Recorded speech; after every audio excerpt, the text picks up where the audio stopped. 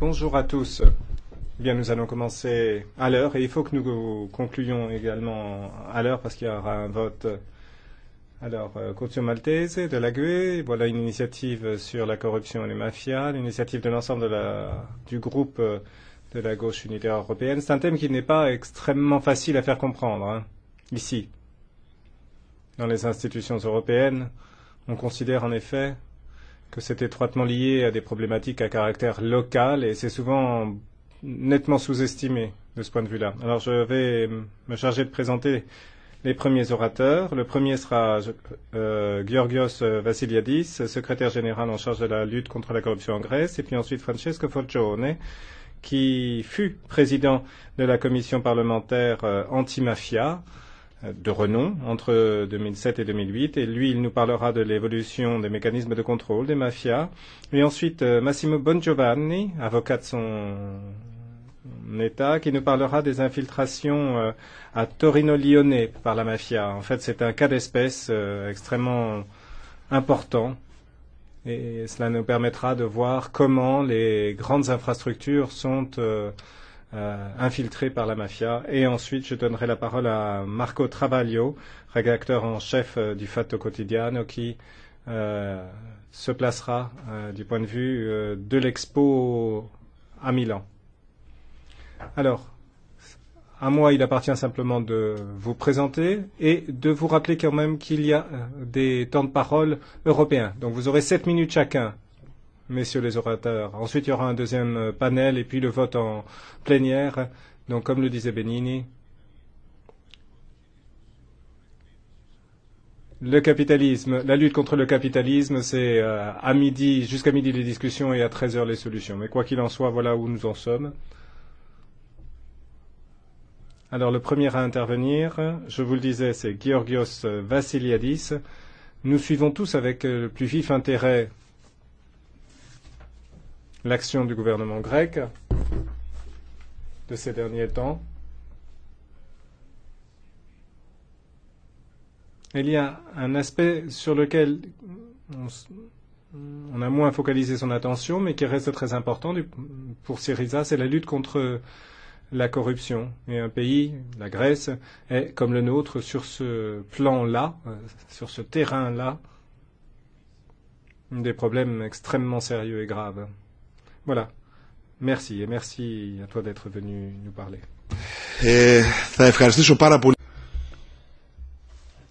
Je vous remercie de votre invitation. C'est avec euh, un grand plaisir que je me retrouve ici avec vous. Et euh, je voudrais, je voudrais m'excuser auprès des interprètes parce que euh, j'étais tellement angoissée que j'ai oublié mon intervention, les documents de mon intervention dans l'avion. Donc je m'en excuse.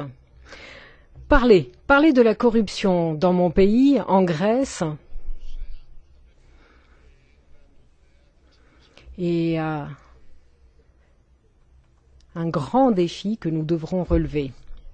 Quelle est la situation qui prévaut en Grèce?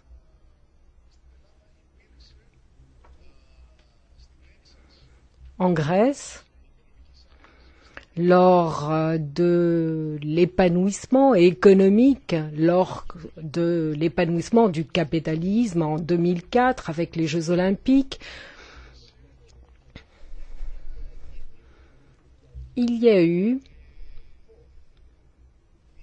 une forme particulière de corruption, de collusion.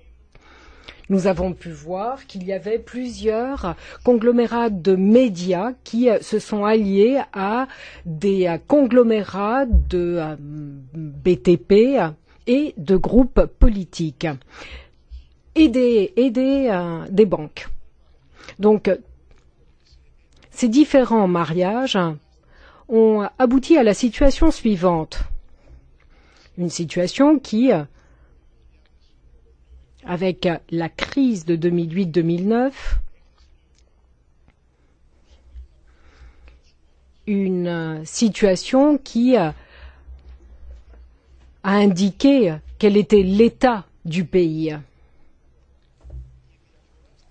La corruption en Grèce pour parler sans embâche et pour nous pencher sur des données statistiques, en moyenne, ne diffère pas, beaucoup de l'état qui prévaut dans les autres États membres. Mais la différence porte sur la structure horizontale et verticale de la corruption, c'est-à-dire qu'on ne va pas la retrouver uniquement au sommet de la chaîne économique, c'est-à-dire au sommet des grandes entreprises, des entreprises de construction et autres, mais la corruption concerne la vie quotidienne des euh, Grecs, même si l'autre également.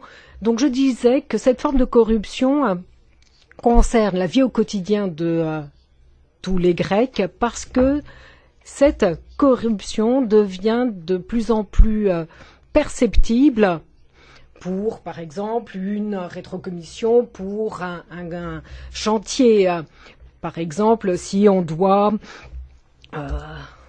donner des pots de vin à un avocat ou un fonctionnaire, eh bien, le citoyen grec va le ressentir étant donné qu'il va dépenser de l'argent. Donc, dans ce cadre, les gouvernements helléniques ont pris plusieurs initiatives afin de résoudre le problème.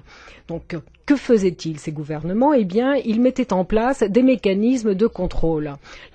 Pour la première fois, le gouvernement de Syriza a entrepris de faire une cartographie des mécanismes de contrôle de la Grèce. Donc nous avons élaboré un document de 250 pages.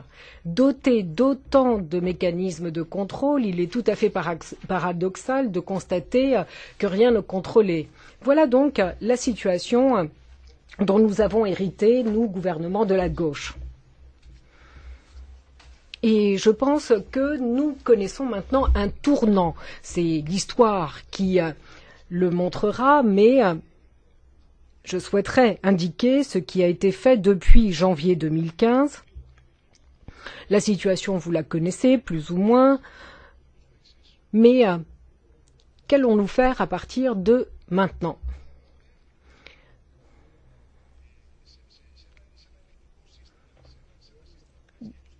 Dans le cadre d'un système qui posait problème les années de 2010 à 2015, lorsque notre pays était sous euh, programme, la situation s'est euh, aggravée l'unité de lutte contre la corruption, le SDOE, qui a fonctionné jusqu'en 2010, comptait en 2010 1500 employés, 1500 inspecteurs. Et euh, après cinq, cinq années de euh, plan, les employés sont au nombre de 700. Donc au moment où nous, nous faisons ces inspections et à l'heure au moment où euh, tous ces euh, programmes sont destinés à nous aider, nous constatons que euh, ces unités d'inspection ont moins d'employés. Les euh, douanes, avant le programme, le mémorandum, avaient 4000 euh, employés. Au lieu d'en avoir, pardon, 4000, en avait 2000. Et maintenant, il y en a 1850. 1850 employés pour un pays qui a de telles frontières. Cela fait donc peur. C'est dans ce contexte que nous nous efforçons de trouver les meilleures solutions. Dans le, le cadre du mémorandum, nous ne pouvons embaucher. Il faut garder cela à l'esprit.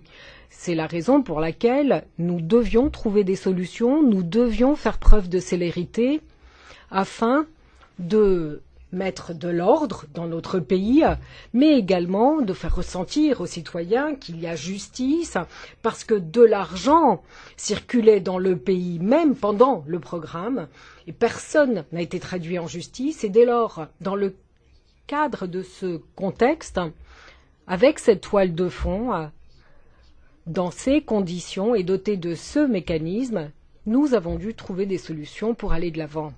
Qu'avons-nous fait?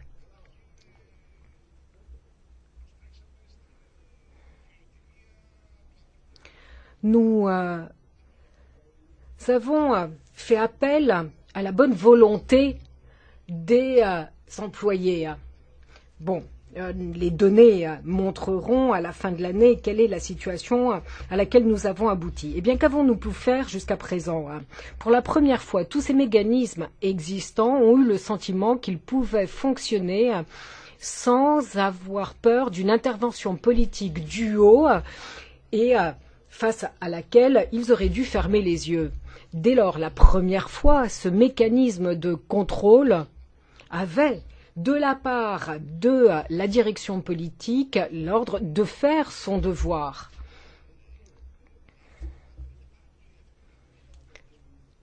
Cela d'ailleurs apparaît dans les résultats.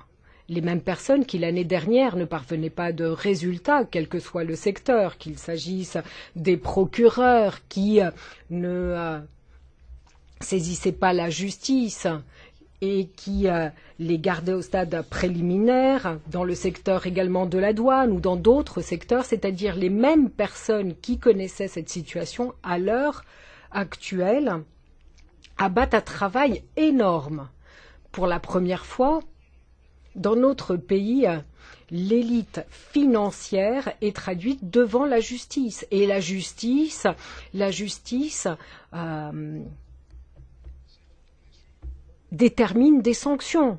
Elle fait son travail. Bon, cela ne peut constituer une solution à ad vitam aeternam parce que au bout d'un moment, peut-être que cet enthousiasme va s'étioler.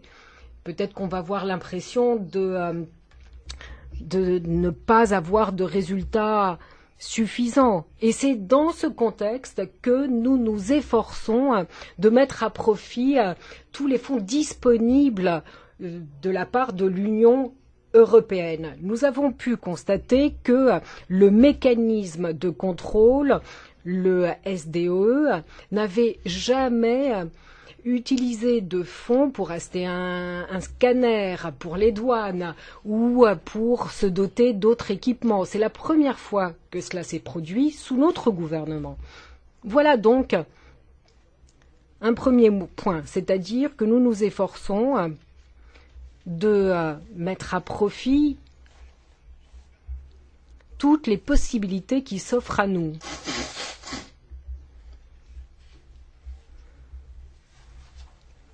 Nous avons appris langue avec tous les secteurs qui sont concernés par, touchés par la corruption, le secteur du tabac, par exemple, et d'ici la fin de l'année, nous aurons au moins deux scanners destinés à nos services de douane. Dans le nord de la Grèce, on a besoin de 20 scanners et pourtant On est heureux d'en avoir deux. L'Union européenne nous demande plusieurs choses. Nous, nous souhaiterions le faire. Néanmoins, nous n'avons aucune ressource pour le faire. Nous ne pouvons, en effet, embaucher, je l'ai déjà dit, Nous ne pouvons injecter des fonds afin de nous euh, doter des équipements euh, technologiques indispensables et c'est dans ce contexte difficile que nous menons une bataille ardue afin d'aller de l'avant. Το πιο, το πιο σημαντικό και το μεγάλο... Mais euh, le plus important, ce qui est le plus important pour le gouvernement de Syriza, le pari que nous devons gagner. Ou plutôt, je vais m'exprimer autrement. Le peuple attend de la justice. Il s'attend à ce que des personnes payent, à ce que des personnes soient détenues, aillent en prison pour ce qui a été fait. Ceux qui ont conduit l'État à ce point eh bien, se retrouvent devant la justice. Ça, c'est une bataille que l'on doit mener, mais nous ne sommes pas sûrs de la remporter parce que le cadre juridique, la manière dont la législation est parfois faite. Bon, je pense que nous aurons peut-être des résultats, mais, mais ce qui est le plus important pour nous, la gauche, c'est de voir ce que nous allons faire à partir de maintenant, c'est-à-dire mettre un terme à tous les euh, éléments qui généraient la corruption en Grèce.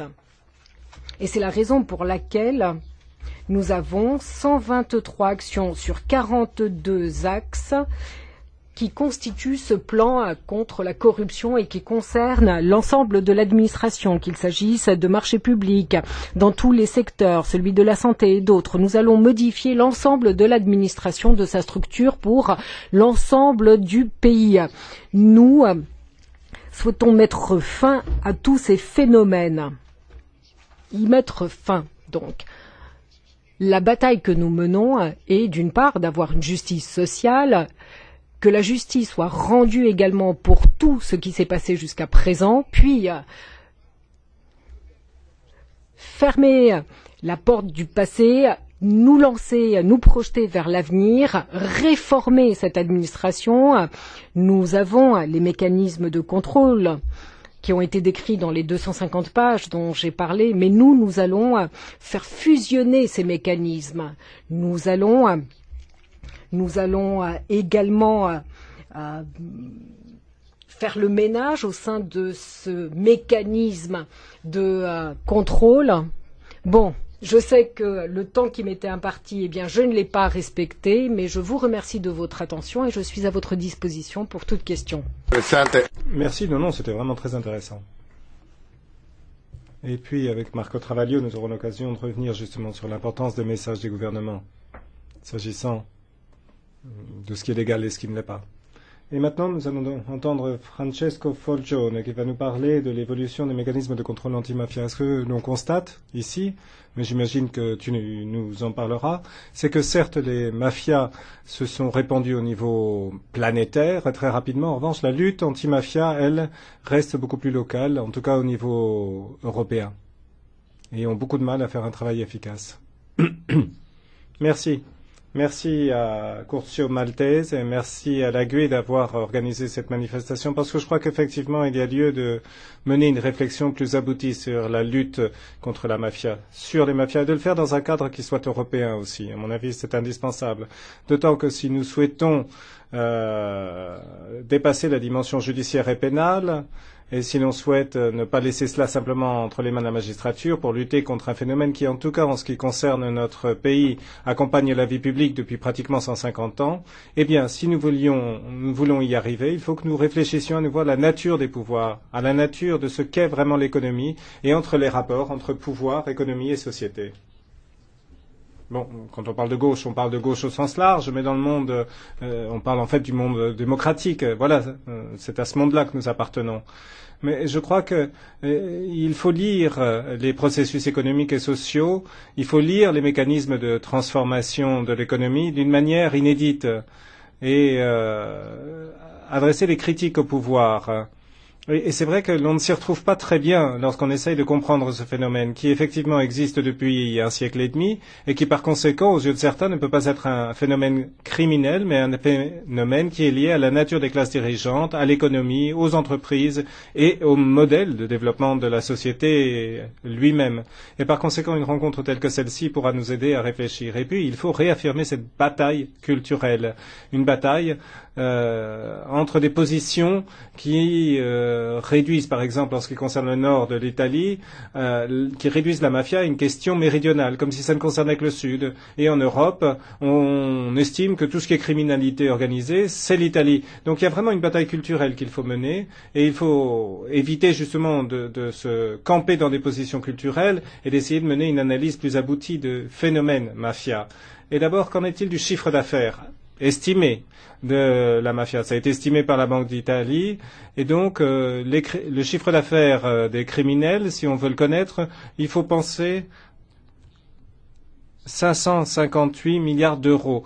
Et euh, la Banque d'Italie utilise cette même référence pour, euh, comme chiffre d'affaires approximatif. Et pour le savoir, il faut savoir quelle est la limite entre l'économie réelle d'une part et l'économie grise ou illégale de l'autre. Parce que 50 à 60% de cette euh, richesse en fait, est réinjecté dans l'économie légale. D'où la première question que nous devons nous poser lorsque l'on analyse le berlusconisme qui a fait l'objet de beaucoup d'ouvrages. Mais ces dernières années, l'Italie berlusconienne, euh, mais aussi le monde de libre-échange actuel, ont connu un processus de déréglementation totale des mécanismes du marché on a vu disparaître toutes les formes de contrôle sur les transactions des capitaux, sur les mouvements de capitaux. Et voilà qui a permis aux mafias, justement, d'injecter sur le marché mondial euh, une masse considérable de capitaux qui circulent parfaitement librement. Et ils ne sont plus simplement sur leur domaine, leur précaré, euh, ce qui était leur domaine traditionnel d'activité, euh, la Calabre, la Campanie, la Sicile, mais on constate maintenant que les mafias sont également très présentes dans le monde économique et financier euh, d'une manière générale et dans le monde des entreprises également. Par conséquent, il faut que nous sachions exactement faire l'interprétation de ces rapports, la façon dont s'exerce le contrôle des territoires également, euh, là où les mafias exercent une fonction d'hégémonie absolue sur l'économie, la société, la politique et les institutions, et puis leur projection au-delà de ces zones euh, traditionnelles en quelque sorte, parce qu'elles agissent à, deux niveaux et donc il y a une double perception du danger social que représente ce phénomène et de ce que cela doit susciter comme crainte et partant euh, les réactions que cela doit susciter également. Et donc on part des. Il est difficile d'identifier les domaines d'activité lorsque ce ne sont pas les, domaines traditionnels. Il faut essayer de trouver la mafia là où elle disparaît un petit peu, là où, là où elle devient invisible, où il n'y a plus la violence. Malheureusement, s'il n'y a pas violence, il y a hypocrisie également des classes dirigeantes. Elles ne les voient pas parce qu'elles ne les voient pas. Elles ne les voient parce qu'elles ne veulent pas les voir. Ils ne les trouvent pas ces phénomènes parce qu'ils ne veulent pas les chercher. Et moi, je me suis intéressé à l'Europe, mais très rapidement, je vous dirais que si on suit le parcours euh, des mafias, il faut suivre les mouvements des migrations siciliennes, calabraises, campagnes. Et donc, si on suit les mouvements de migration, on voit, et ça a été le cas au euh, 19e siècle, on a vu ainsi apparaître la Cosa Nostra américaine en bout de course. Mais maintenant, ce sont les flux financiers, non pas les flux migratoires qu'il faut suivre. Euh, à partir de 1970 à peu près, les parcours suivis par la mafia, italienne notamment, en Europe aussi, ont suivi l'ancienne contrebande de cigarettes et les trafics de drogue. Et à partir de 1990, on a vu une modification des activités criminelles pour arriver à un énorme marché, celui de la cocaïne. À l'heure actuelle, la Ndrangheta, la mafia calabraise, est le courtier principal, le broker principal au niveau international. Et je crois que ce changement de rôle au niveau international entre Cosa Nostra et la Ndrangheta, je ne sais pas si Travaglio sera d'accord avec moi, mais en tout cas, on a constaté le fait que la Cosa Nostra s'est retrouvée un petit peu euh, sous les Corleone dans une dimension nationale. Et les, rapports entre la mafia et la politique, après Andreotti, après euh, la Deuxième République, euh, bon là je renvoie vraiment le sujet du côté des, autorités politiques, mais on a perdu justement cette dimension traditionnelle et notamment les rapports avec la Cosa Nostra américaine. La Cosa Nostra sicilienne avait pratiquement le monopole de l'héroïne, les laboratoires étaient en, à Marseille en Sicile et gérait des flux considérables. Euh, les matières de base arrivaient du Moyen-Orient. On transformait ça en Italie ou en Europe et ensuite c'était envoyé aux États-Unis. Et ensuite, la Cosa Nostra s'est retrouvée bloquée dans une dimension nationale. Les rapports avec la politique, la lutte contre les anciennes mafias, l'ostracisme, etc. Et donc sur le marché international, c'est une autre mafia qui arrive, qui euh, est euh, extrêmement fiable entre guillemets parce qu'elle est très riche, elle est très fermée et parce que il n'y a pas de repentir il n'y a pas de gens qui collaborent avec la justice, ceux-là même qui ont mis euh, un terme au phénomène de la mafia parce qu'ils ont collaboré avec la justice et ils ont, planté le dernier clou dans le cercueil euh, de la mafia. Et ensuite, on est arrivé sur la Colombie, le Pérou et maintenant euh, le Mexique où tout cela ne pose pas de problème, la collaboration avec la justice. C'est vraiment la drogue et le, la source, la cocaïne notamment, est une source monumentale, 1000, 1500 euros par kilo de cocaïne, alors que lorsque c'est arrivé dans les narcotrafiquants, on passe de 150 à 20 000. Et quand on arrive au Calabrais, c'est ce kilo de cocaïne, enfin coca, à ce moment-là c'est de la coca, c'est pas de la cocaïne, ça vaut en moyenne 50, même pas. entre 40 et 50 000 euros. Et quand c'est vendu, ce kilo, ce même kilo euh, de cocaïne pure, enfin de coca pure, produit 4 kilos de cocaïne euh, transformée, coupée comme on dit. Hein. Donc euh, euh, et euh, ces 4 kilos ensuite sont euh, valent sur euh, le marché 50 000 euros. Euh, donc on était parti de, de 1500 euros et on arrive à 500 000 euros. Marx aurait dit qu'il n'y a pas une marchandise au monde qui puisse produire une valeur ajoutée de 1500 à euh, 250 000 euros. Alors il est où le problème? Eh bien le problème, il est là. Lorsque vous entendez parler d'une énorme opération de lutte contre les drogues en général, le trafic des drogues, c'est un trafic transnational. On a arrêté deux Colombiens, deux Espagnols et un Équatorien, trois Napolitains, parce qu'il y a toujours des Napolitains au milieu, hein, et quatre Calabrais et deux Espagnols. Bon, voilà. Mais bon, en général, ce que l'on comprend, c'est cette dimension criminelle. C'est à cela qu'on s'en attaque, c'est-à-dire l'acquisition, le transport et la vente. Mais dans cette même opération, jamais on ne voit l'autre organisation, celle qui garantit les flux financiers. Parce qu'il y a une partie qui est dans le monde réel, criminel, visible, et le reste, c'est une dimension économique, financière, politique, qui est parfaitement légale euh, des commerçants, des directeurs de banques, entre autres. Et donc le sujet qui nous intéresse est précisément celui-là, comment faire mal à la mafia, là où la, heurter là où ça fait mal. Euh, les, Duisburg a fait exploser, avec la tragédie du 15 août 2007, a fait exploser tout cela. Mais Gian Borlingini de San Luca est arrivé en 2007 et la police allemande, en 2000, écrivit un rapport, rapport sur San Luca, dans lequel il décrit de manière très minutieuse toutes les activités des Calabrais en Allemagne, dans les restaurants, les pizzerias, les sociétés d'import-export, la gestion euh, du trafic de drogue, etc.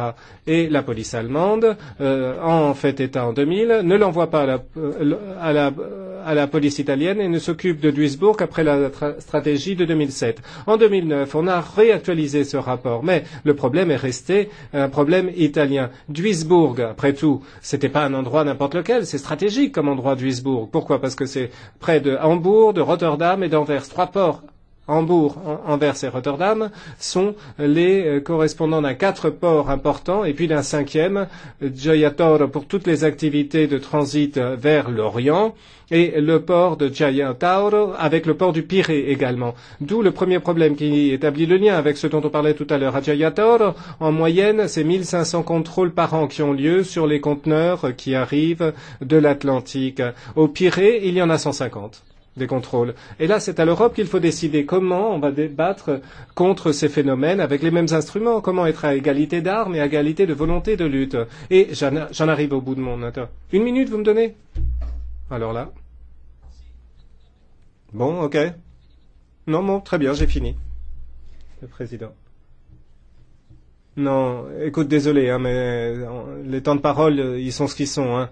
Et donc surtout, ne faites pas comme les parlementaires qui accélèrent leur débit simplement parce qu'ils ont moins de temps. Barbara Spinelli. Bon d'accord, je n'ai plus qu'une minute, très bien. Alors, cette dimension mondiale et planétaire a un impact politique. Personne ne se souvient qu'il y a eu un, sénateur qui avait quitté euh, avec une valise le Sénat pour aller en valise. Di Geronimo, c'était le nom de ce sénateur. Il avait été élu au collège euh, européen de Forza Italia et il y avait des liens avec quelqu'un qui revient en permanence sur le terrain, un financier noir, Mogbel, et Di Geronimo avait euh, eu recours au service de l'Andrangheta. Et pourquoi est-ce qu'il a été candidat? Eh bien parce que les contrôles des communautés à l'extérieur est un contrôle qui n'est pas simplement euh, social, mais qui est également politique et électoral. Les listes en Amérique du Sud, elles sont établies par deux personnes. Aldo Michique, qui vit au Venezuela, à Titanque depuis 20 ans, on est en 2008, et l'autre personne, il s'appelle Marcello Del Luto, et il y a des centaines de, conversations téléphoniques où on décide des candidatures sur place, et a été élu Talcaselli, euh, pas quelqu'un, pas le bon, hein, n'essayez pas de trouver notre ami, euh, mais Talcaselli, l'autre chef de la chambre de commerce de la Confindustria de euh, Buenos Aires, Avec des liens avec les anciens généraux de la dictature et la décision a été prise et ensuite la Drangheta est intervenue avec des rencontres régulièrement avec des lootés au Venezuela. Et voilà, je conclus. Je crois vraiment que c'est un problème qu'il faut que nous évoquions. Il faut que nous fassions comprendre à l'Europe que quand on arrive, quand on parle de l'argent euh, de la mafia, on continuera de manger bien dans les pizzerias de la Drangheta de la mafia, mais quand il y a une, une pizzeria de la mafia et quand la mafia arrive, il n'y a plus de contrôle du, du territoire et alors à ce moment-là, il faut que l'on combatte ce phénomène en utilisant les mêmes instruments où que l'on soit. Les patrimoines, les richesses, le capital. Voilà là où il faut faire, il faut appuyer. C'est là que ça fait mal à la mafia. Et il faut qu'on ait un, un moyen de séquestration, de confiscation également, tel que ceux qui existent en Italie par exemple. C'est vrai que les cultures juridiques ne sont pas les mêmes dans tous les pays d'Europe, mais en revanche les phénomènes criminels sont exactement identiques et s'unifient de plus en plus et par conséquent il faut que nous apportions une réponse unifiée. L'Italie a été la dernière à recevoir la directive de Lisbonne. Le Vatican l'a reçue, je crois. C'est le dernier pays en matière de recyclage à l'avoir euh, adopté. Et donc il faut que le Parlement européen agisse sur ce point. Il faut également faire en sorte qu'un groupe tel que la GUE comprenne bien que ce thème de la lutte contre le crime organisé n'a strictement rien à faire avec euh, sécurité ou répression tout simplement. Ça n'a strictement rien à faire avec rien à voir avec ça. C'est plutôt le modèle économique des entreprises, le modèle de marché et la transparence qui sont les paroles clés, les mots clés. Et cette lutte, par conséquent, il faut que euh, qu'elle ne soit plus euh, l'apanage des tribunaux, mais qu'elle soit également euh, une priorité pour les milieux sociaux et les sociétés d'une manière générale. Les interprètes invitent les orateurs à parler un tout petit peu plus lentement si c'était possible. Alors, euh, nous allons maintenant parler, et c'est Massimo Bongiovanni qui va nous en parler, euh, et euh, encore une fois un appel de la part des interprètes afin que la traduction puisse suivre. Euh, oui, oui, on comprend bien le, travail des, interprètes. Sept minutes, c'est très peu, mais je vais essayer de vous faire voyager un petit peu. Je vais peut-être euh, faire référence à ce que avait coutume de dire Falcone. Falcone disait euh, suis l'argent et tu trouveras la mafia. Et l'expérience que nous avons faite, conjointement avec euh, l'avocat de Patrizio, euh, le problème c'est que ce n'est pas simplement la mafia. Il y a d'autres formes de crimes organisés qui ont recours à la mafia, notamment au sommet de l'État. Au sommet de l'État, on s'est aperçu qu'avec une ordonnance de protection euh, en ce qui concerne euh, un scandale qui a frappé en plein cœur le gouvernement italien en, au début de 2015. Et il s'agissait notamment du ministère des Infrastructures et des Transports euh, qui avait été mis à l'index. Et il y a eu d'ailleurs des mises en prison. C'est le ministère des Transports, donc. Euh, c'est le ministère qui est chargé de gérer le plus gros volume de deniers publics et puisque nous sommes euh, devant vous, Parlement européen, il gère, sachez-le, également des fonds publics européens, pas seulement des fonds publics italiens. Donc le crime organisé ou la criminalité organisée, ça n'est pas simplement la mafia, ça comprend également des associations de malfaiteurs qui ne sont pas forcément mafieux, mais qui malgré tout trouvent un moyen de venir s'infiltrer dans les structures de l'État et les instances de l'État. Alors, lorsque je parle de cette structure de mesures de protection, je fais référence à un scandale qui a eu pour conséquence la démission du ministre Loupi. Ministre Loupi qui avait comme interlocuteur, ou même qui était de l'ingénieur Ercole Incalza. Et Incalza, c'est quelqu'un qui a gouverné pendant 25 ans sur le ministère de l'infrastructure, grosso modo. En fait, c'était lui qui était le chef. Il n'était pas formellement ministre, mais grosso modo, pendant 25 ans, c'était lui le chef le grand chef au ministère. Et je vais vous expliquer très rapidement quel est le mécanisme auquel il avait recours et j'espère que les interprètes arriveront à me suivre.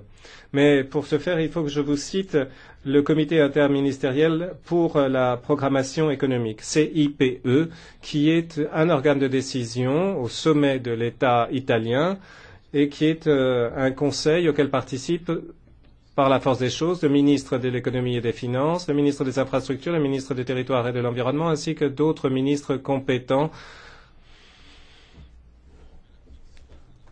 pour l'œuvre, la structure, l'ouvrage à approuver. Et cette CIPE, c'est un énorme robinet, grosso modo. En fait, euh, il y a un volume financier considérable euh, qui sont mis en circulation en Italie par le truchement du CIPE. Et ce conseil intergouvernementale euh, nomme également à son sommet euh, et là je m'interromps parce que je voulais faire référence à ce qui vient d'être dit parce que on parlait de Nicolas Cosentino. Il me semble qu'il est euh, assigné à résidence, mais il a été sous-secrétaire de la présidence du Conseil des ministres et il a été nommé secrétaire du euh, comité interministériel pour la programmation économique, donc le CIPE, qui contrôle, je vous le disais, ces flux financiers considérables. Donc ça, voilà qui était nommé au sommet de cette organisation. Autre personne nommée, dont on a beaucoup parlé également. Il faut que je lise les noms parce qu'il y a le frère aussi. Et en fait, le frère, lui, il avait euh, une tâche spécifique euh, au sein d'une des grandes banques italiennes, l'Institut bancaire San Paolo. Mais là, il s'agit de Michike. Et Michike, c'est Gianfranco Michike dont je vous parle ici. Lui aussi, on en a beaucoup parlé. Et voilà, donc on les met en place, mais ça ne suffit pas. Ça ne suffit pas de les mettre en place de la gestion de fonds publics considérables pour les infrastructures. D'énormes flux financiers de l'État, enfin grosso modo il s'agit du denier public, de l'argent des contribuables. Donc il ne s'agit pas simplement des personnalités, il s'agit également de se doter d'instruments. Et à cet égard, je citerai un, instrument réglementaire qui a été euh, conçu, inventé en quelque sorte, et ensuite euh, soumis à la sagacité du Parlement européen. C'est ce qu'on appelle la legge objective, la loi d'objectif. Et euh, là encore, la personne qui est l'ingénieur Incalza dirigeait justement le ministère des infrastructures, et c'est lui qui faisait les demandes au CIPE pour obtenir les financements pour les ouvrages publics un individu qui donc a géré jusqu'à son arrestation, qui a géré euh, 250 milliards d'euros pour des ouvrages publics, des ouvrages, des infrastructures euh, d'intérêt public. Et, lui, il est l'auteur de cette legge objective, donc la loi objectif. Donc en fait, de quoi s'agit-il?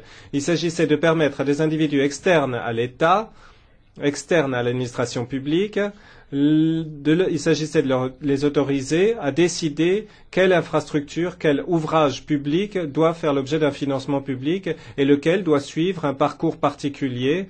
Et voilà, ça me ramène au sujet, la simplification, le sujet de notre rencontre. Mais la simplification, ça n'est jamais une bonne chose. Pourquoi? Parce que qui dit simplification dit réduction du pouvoir d'information en ce qui concerne le processus de, prise de décision pour les grosses infrastructures. Et le processus de prise de décision lorsque l'on a retrait à cette loi d'objectif, eh bien, il n'est pas fait par l'administration publique, mais il est fait par des individus qui sont extérieurs, hein, qui n'ont rien à voir avec l'administration. Le, euh, le, maître d'ouvrage, par exemple, qui décide si un ouvrage peut ou ne peut pas être inséré dans le PIS, le programme des infrastructures stratégiques. J'ai bien conscience de la grande complexité de mon propos. Et donc, je vais peut-être essayer d'attirer plus particulièrement votre attention sur ces artifices, cette utilisation de lois qui ont été créées ad hoc, spécifiquement pour éliminer justement toute possibilité d'influence, que ce soit du Parlement ou que ce soit des citoyens. Et je ferai référence au Val de Suse pour illustrer mon propos. Alors, l'administration publique est mise hors circuit. Le CIPE lui-même est mis hors circuit euh, pour les décisions relatives au financement des ouvrages, relatives aux euh, collectivités euh, qui euh, doivent être associées au financement.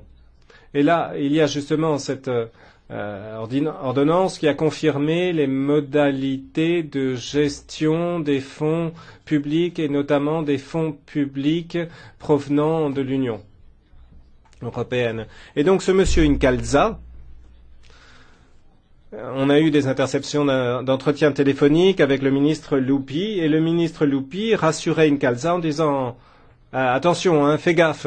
Il euh, y a des voix euh, que l'on commence à entendre et qui se prononcent en faveur de ton exclusion du ministre des Infrastructures dont Loupi était en train de dire dans ses écoutes téléphoniques à Incalza, si jamais il te fout dehors, c'est le gouvernement qui tombe. Donc vous voyez un peu le pouvoir de ce monsieur Incalza qui gérait plus de 200 milliards d'euros. Et euh, voilà, maintenant je reviens à la question euh, du TAV, le train à haute vitesse euh, Torre-Lione, Torino-Lione, pardon, Lyon, pardon, Turin-Lyon, pardon. Et donc, je ne sais pas, vous n'êtes peut-être pas au courant du mouvement de lutte contre le TGV Turin-Lyon de la part des habitants du Val de Suse. C'est arrivé après 2005 parce qu'après 2000, euh, en 2006, le gouvernement Prodi a retiré le Turilien, Turin-Lyon de la loi objectif et l'a soumis à une loi ordinaire qui prévoit une participation accrue des citoyens au processus de prise de décision sur ce tronçon et également sur les processus administratifs d'approbation de ce tronçon.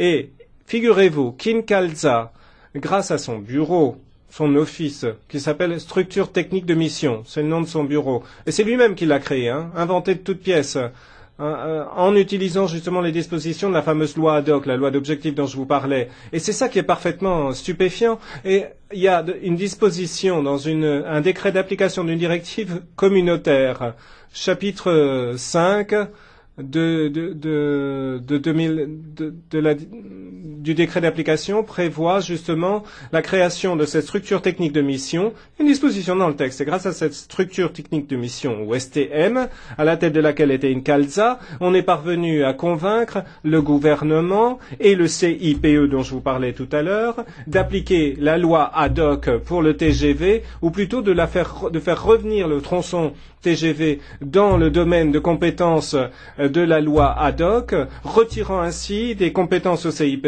indiquant que, euh, en fait, euh, jamais la loi ad hoc n'avait cessé d'être applicable à ce tronçon Turin-Lyon du TGV, et euh, il y a des documents qui l'en attestent. Malheureusement, ce document euh, n'est pas disponible. En fait, il y a une annexe au septième PDF de 2012-2013 qui contient le programme des infrastructures stratégiques, et dans ce document et dans une série de tableaux, l'on voit apparaître de manière parfaitement explicite euh, que la loi ne s'applique plus à ce tronçon Turin-Lyon euh, TGV.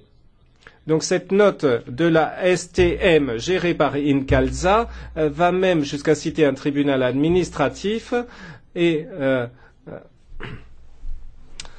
moyennant de très nombreux documents dont une étude parlementaire de 2011 dans laquelle l'on faisait état du fait que le Turin-Lyon avait été exclu de l'application de la loi d'objectif. Voilà où on en était. Essere... On m'invite à conclure. Alors pourquoi est-ce que ça c'est revenu sous dans le champ de la loi d'objectif Pas pour exclure le, le, les consultations populaires ou la population, mais pour garantir qu'il y ait un appel d'offres en 2005. Et grâce à cette loi d'objectif, le, tronçon Turin-Lyon, notamment le, tunnel de la Maddalena, a été approuvé en 2010, mais du fait de cette réinsertion dans cette loi ad hoc, l'on a pu ressusciter un contrat issu d'un appel d'offres de la CNC de 2005. Maintenant, en ce qui concerne la présence de la Ndrangheta dans le Val de Suse et notamment sur le chantier du tronçon Turin-Lyon, eh bien, ce sont ces mêmes Rossi qui ont indiqué cela dans une note.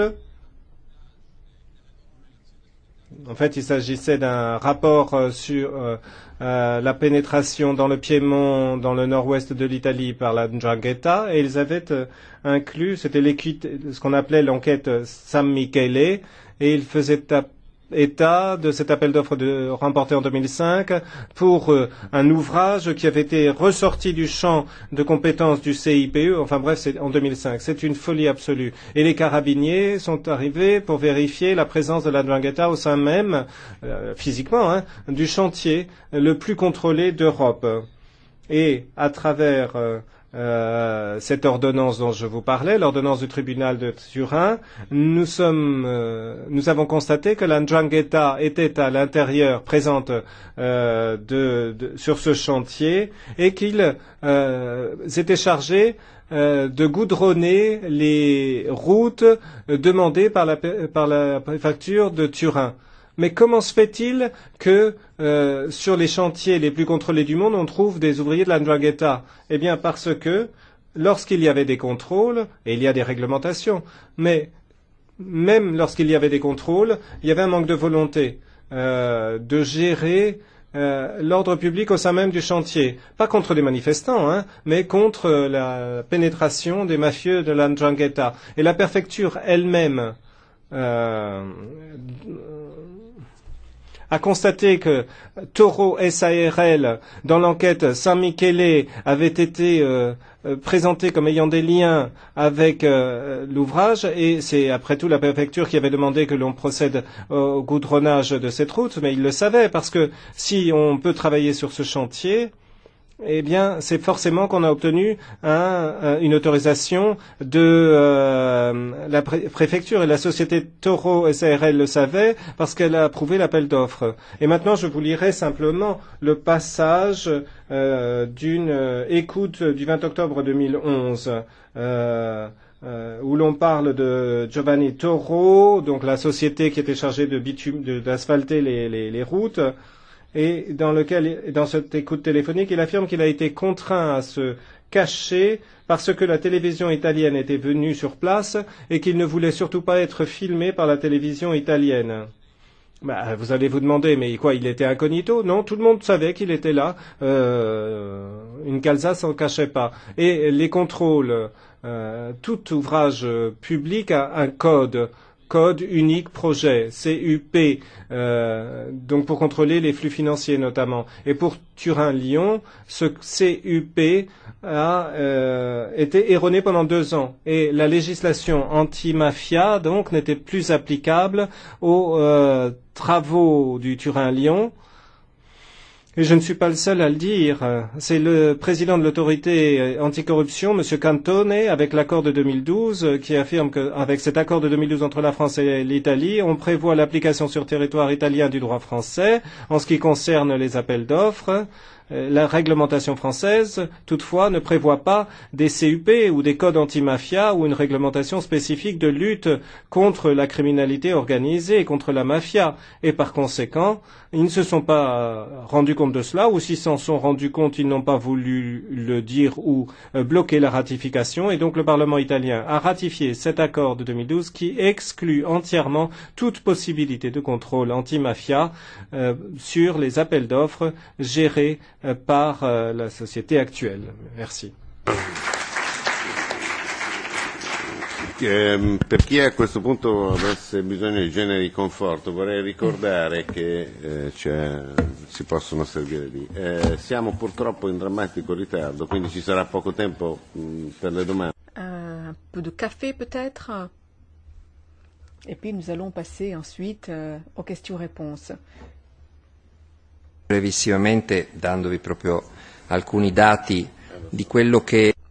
Moi je voulais revenir sur certaines données.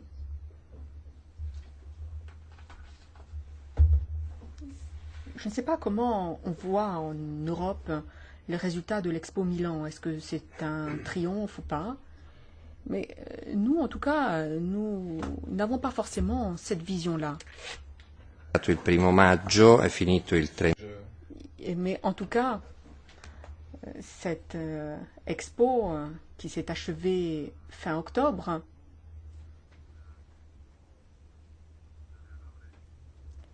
est comparable à celle d'Hanovre, avec des dizaines de millions de visiteurs. Et on a considéré que Hanovre était un échec, hein, mais celle de Milan est pire encore. Il faudrait remonter à 1962, semble-t-il, pour trouver euh, une expo qui a encore plus mal fonctionné.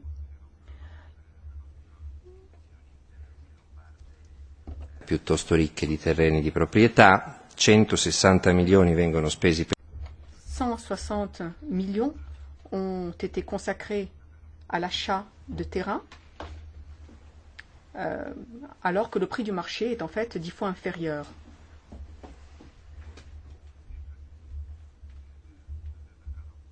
On a donc payé avec des fonds publics euh, dix fois ce que ces terrains valaient.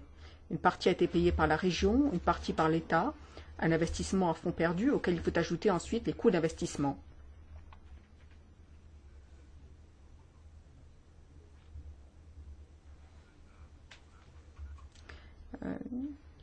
Il s'agit pourtant d'un chantier provisoire qui est en train d'être démonté de 2 milliards 4 d'après les calculs qui ont été euh, faits. Donc, euh, on considère qu'il va y avoir une perte à fonds perdu absolument énorme. Et cela sans compter euh, euh, l'intérêt à rembourser aux banques. Les intérêts qui représentent aujourd'hui à eux seuls quelques 200 millions d'euros. Au départ, l'on pensait que ces terrains pourraient être réutilisés. On parlait au départ de 6 millions d'euros. Maintenant, on parle de 72 millions d'euros. Mais qui voudra payer une telle somme pour ces terrains? Eh bien, en fin de compte, ce sont les contribuables qui finiront par payer la facture. Ils devront payer pour quelque chose qui a été démoli, dont il ne restera plus la moindre trace. Euh, ces, terrains ont été électrifiés, l'accès Internet a été prévu, euh, ces terrains ont été proposés euh, aux enchères, mais personne n'a proposé d'enchères. La personne chargée de l'expo, une sorte de commissaire de l'expo,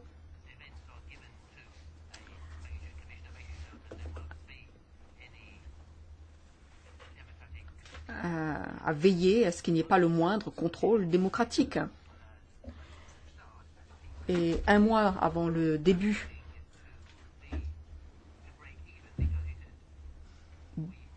de l'expo, il affirmait qu'il faudrait vendre les billets d'entrée à 23 euros, ce qui permettrait de compenser les coûts. Il a ensuite affirmé que 19 euros serait suffisant et ensuite il en a rabaissé le prix à 10 euros le billet. Et puis il en a même fini par donner gratuitement des billets à personnes âgées, les retraités, les enfants, quiconque se présentait euh, le soir uniquement pour gonfler le nombre des personnes qui venaient visiter euh, l'expo. Mais en réalité, il n'y avait pas la moindre rentabilité puisque personne ne payait véritablement le prix du billet.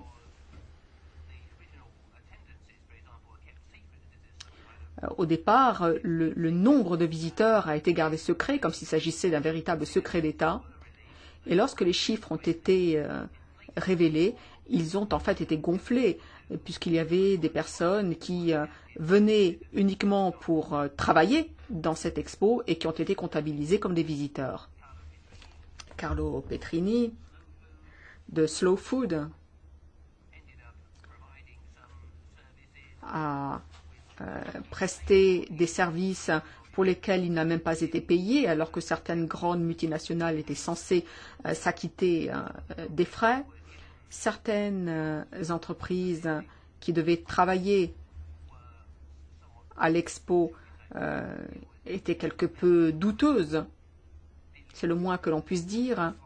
Or, lorsque l'on a un budget énorme, eh bien, on peut se dire que euh, l'on peut prévoir des campagnes pour attirer les visiteurs. On se rend compte que la plus grande partie des visiteurs venaient en réalité du voisinage de Lombardie, donc des personnes qui ne passaient pas la nuit dans des hôtels, qui ne consommaient pas sur place. Et donc cette immense euh, vague de, visiteurs euh, chinois que l'on nous avait promis euh, ne sont jamais arrivés. Nous avons maintenant cette Expo Land, ce terrain énorme que personne ne veut acheter et que va-t-on en faire? Alors qu'il faut rembourser ces fonds pendant des années. On a parlé de la construction d'un centre technologique dont la pertinence euh, est douteuse puisqu'il y a déjà un centre de ce type à Gênes. Mais ce centre, de toute façon, ne couvrira que 60 000 mètres carrés, alors que le site couvre, lui, un million de mètres carrés. Ce sera donc euh, un petit îlot, dans une petite oasis, dans un désert immense. Mais c'est qu'il y a également des élections qui se profilent. On va appeler cet endroit le technopole euh, Humain Italie. Aucune idée de ce que cela signifie véritablement, mais c'est ainsi que cet endroit sera baptisé. Les institutions euh, euh, où qu'elles se trouvent, euh, les, les institutions scientifiques sont très peu impressionnées. Euh, il y a déjà un centre de ce type à Gênes, il y a déjà des centres de recherche à Milan. Pourquoi construire ce nouveau centre? Le commissaire qui est donc chargé de tout ceci et qui s'appelle Giuseppe Salo euh, sera euh, candidat du centre droit euh, à la mairie de Milan.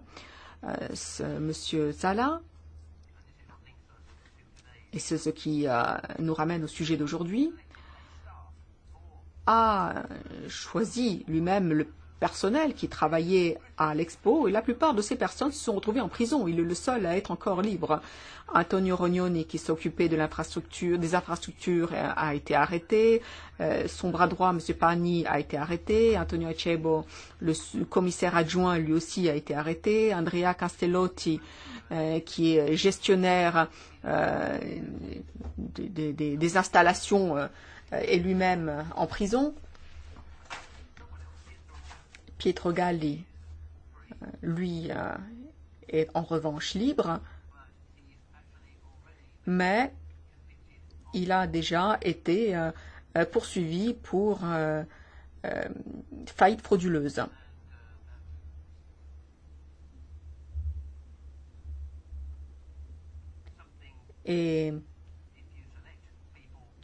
Quand on euh, choisit des personnes de ce type, Euh, pour être à vos côtés, eh bien, on peut se dire que votre propre intégrité est douteuse. Et pourtant, M. Zala a été euh, promu en quelque sorte.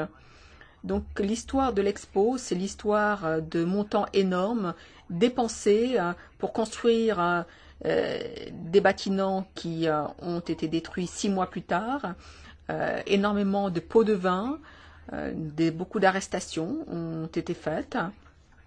Certains d'ailleurs sont assez célèbres, euh, des personnes qui, ont été euh, euh, impliquées dans des scandales de corruption déjà dans les années 90-92.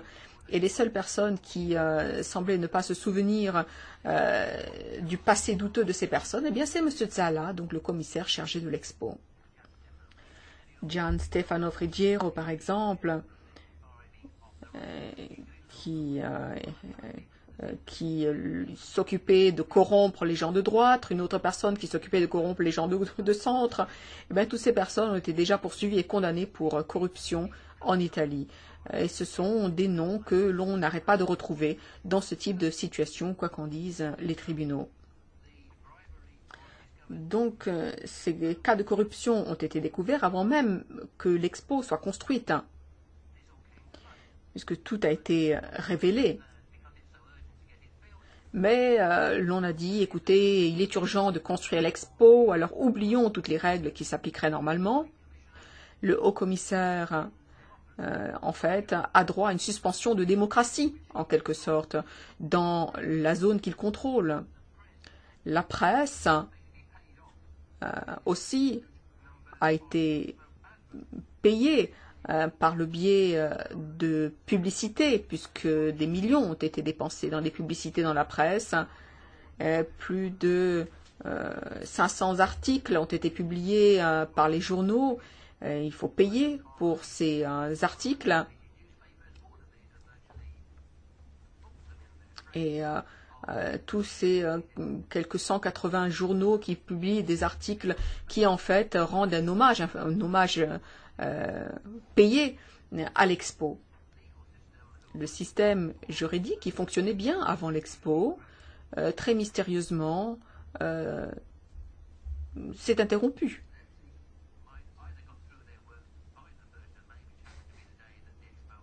Alors, soit on a suspendu au 1er mai, soit euh, la justice a mis les choses entre parenthèses Euh, et en réalité, après l'expo, Renzi a remercié le procureur de Milan pour la manière très intelligente dont il avait géré les choses. Moi, il me semble que des gens qui euh, violent le droit doivent de toute façon être poursuivis. Pourquoi faut-il que Renzi euh, remercie le procureur de Milan? Bon, Monsieur Sala, comme je vous l'ai dit, euh, a été désigné candidat à la mairie. Ce sera une manière de continuer à contrôler la ville. Il dit, lui, être gestionnaire plutôt que responsable politique. Et peut-être que ce type de modèle sera exporté au niveau national, voire européen. Faisons donc très attention. Malheureusement, nous n'avons pas beaucoup de temps pour des questions. Toutefois, nous allons le prendre, deux ou trois. Pas beaucoup de temps, mais si vous avez des questions, n'hésitez pas. Sinon, c'est moi qui me chargerai d'en poser une à Marco, justement. Mais comment se peut-il qu'en si peu d'années ait disparu complètement les données réelles des moyens de communication? Par exemple, pour l'expo.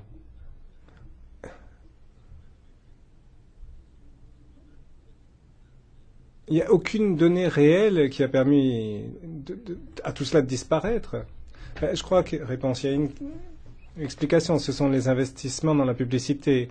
La euh, presse, notamment la presse écrite, est de plus en plus en crise. Et plus elle perd de lecteurs, plus elle se pose la question de savoir pourquoi elle les perd. Et donc, elle a un petit peu tendance à essayer de remédier à cette hémorragie de lecteurs avec des investissements publicitaires qui sont plus des investissements publicitaires. Parce que si vous achetez une page, euh, vous achetez l'ensemble du journal et pas juste la page.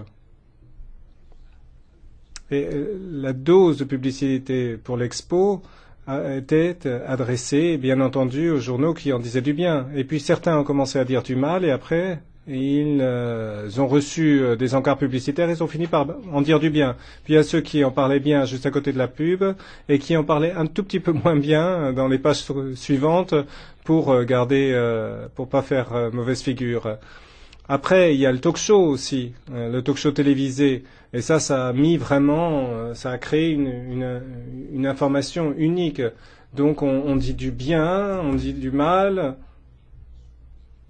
mais à personne on ne demande de documenter euh, le succès. On ne dit à personne montrez-nous des documents qui prouvent que c'est euh, un succès. En revanche, ceux qui parlent d'un flop, euh, qui disent que ça a été un échec monumental, à eux on leur demande de fournir des preuves.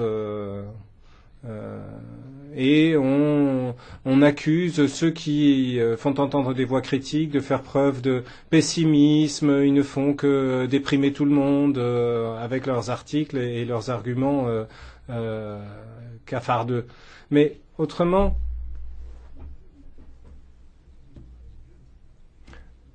parce qu'on a offert des, billets d'entrée, l'expo a été euh, assaillie par des hordes de barbares euh, qui voulaient venir visiter euh, le, les pavillons de Dubaï et d'Oman, où il n'y avait évidemment rien. Hein. Mais bon, ce qui était important, c'était d'y être, et en plus, si on ne paye pas, c'est tout bénéfice. Et donc, il y avait 7 heures de file d'attente pour visiter ces pavillons. Et euh, les Yénés, un programme télévisé, une, émission satirique, a envoyé quelqu'un qui est parti du centre de Milan pour essayer d'aller visiter justement le pavillon du Qatar. Ils en ont envoyé un autre qui partait du centre de Milan pour essayer d'arriver au Qatar. Et devinez qui est, arrivé en premier? Eh bien, c'est celui qui a pris l'avion et qui est arrivé au Qatar avant celui qui avait quitté le centre de Milan pour essayer d'arriver au pavillon du Qatar. Euh, C'était 6 pour l'un, 7 pour l'autre, ou quelque chose comme ça. Dans n'importe quel autre pays, euh, s'il y a une manifestation pour laquelle il faut attendre cette euh, heure, eh bien c'est considéré comme un chef-d'œuvre d'inefficacité. Alors qu'en Italie, qu'est-ce qu'on a dit? Ah non, c'est un triomphe, il y avait des files d'attente. C'est pas formidable, ça Vous êtes parvenu à faire attendre les gens pendant sept heures. C'est dire si c'est un succès retentissant.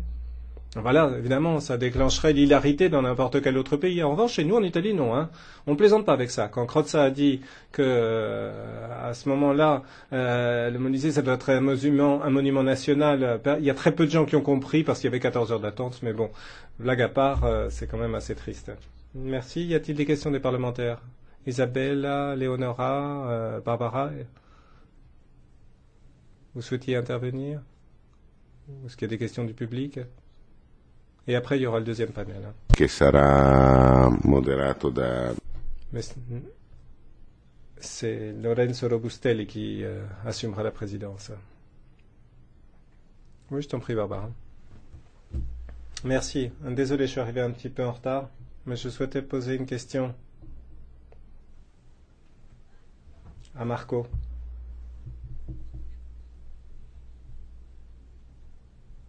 Tout ce que vous nous avez raconté, là, les uns et les autres, ça confirme à quel point la corruption est omniprésente.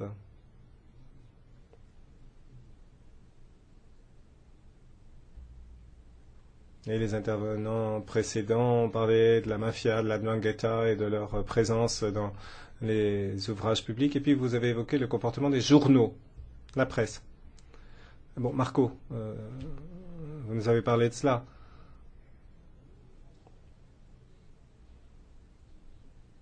Mais ça revient un peu sur le devant de la scène là maintenant. On dit que le processus de Palerme ça a été un postulat complètement absurde. Il y a quelques jours, il y a eu un débat à la télévision où justement on t'a demandé euh, d'être l'interlocuteur de quelqu'un pour confirmer. Je ne sais plus exactement ce que c'était. C'était Solution et l'autre, c'était qui? Oui, c'est ça, Dimanine. Mais tout ça, tout à coup, ça a renforcé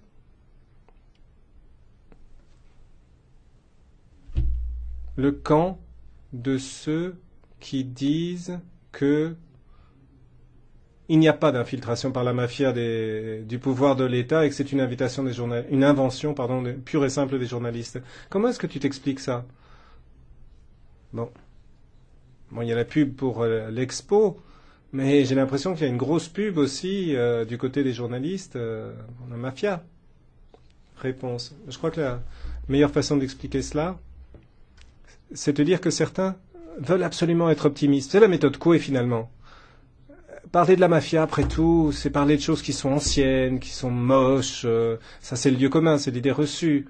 Donc, parler de Falcone et de Borsellino, bon, allez, je vous en prie, ou de Santini éventuellement, mais on ne va pas commencer à se poser la question de savoir pourquoi ils ont été tués. Et des mafieux, il y en a beaucoup. Et, et à vrai dire, la mafia a davantage contribué à la vérité que l'État. Ils font preuve d'un esprit de collaboration beaucoup plus euh, marqué les structures de l'État. Et donc, en fait, en parler, c'est être euh, pessimiste, euh, c'est euh, la déprime. Donc Manini nous disait, ben,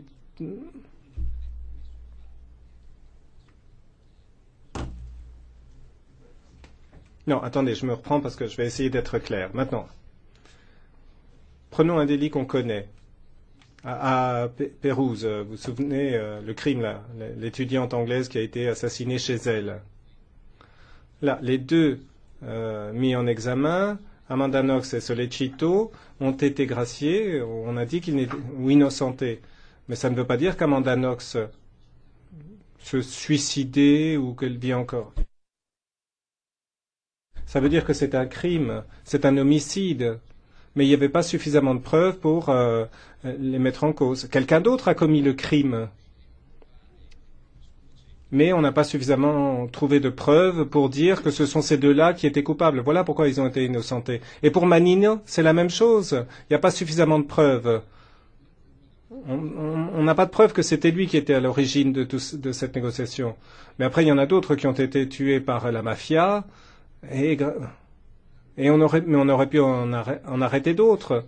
Ça aurait pu être Manine, mais on n'avait pas suffisamment de preuves. Après, il y a eu dix autres mises en examen. Le juge a indiqué qu'il qu y avait crime, même si on n'avait pas les preuves que c'était Manino qui l'avait commis. Ensuite, on verra si les autres ce sont les bons ou si pour eux il y a des preuves. Et donc, il faudrait donner des informations sur euh, la peine prononcée. Mais là, maintenant, tout ce qu'on dit, c'est voilà, tous innocents, il ne s'est rien passé. Et comme si Meredith vivait encore. Ou Meredith euh, s'est suicidée, ou elle s'est suicidée par légitime défense. Enfin bref. Ou alors il y a, a, y a meurtre, mais il n'y a pas crime. Enfin, euh, c'est un homicide. Euh. Maintenant, au procès, malheureusement, personne n'en a parlé de manière suffisamment bien, à part le film de Sabina Guzzati. Et je ne citerai pas le reste parce qu'il y a conflit d'intérêts, mais, mais sinon on n'en saurait rien. Et on dit heureusement l'État et la mafia n'ont strictement rien à voir l'un avec l'autre. Vous savez, comme dans les films, vous avez les cowboys de l'autre, d'un côté, les Indiens de l'autre. C'est très simpliste, euh, c'est un petit peu les bisounours. Hein. Uh. Sì, anche io ringrazio Curzio e... Oui, je remercie Curzio également et le rapporteur pour ce, ce débat et ces discussions qui, à mon avis, sont extrêmement importantes. Je pense que ce débat est particulièrement important pour les raisons qui ont été présentées. Francesco, je pense que nous avons besoin de créer une sensibilité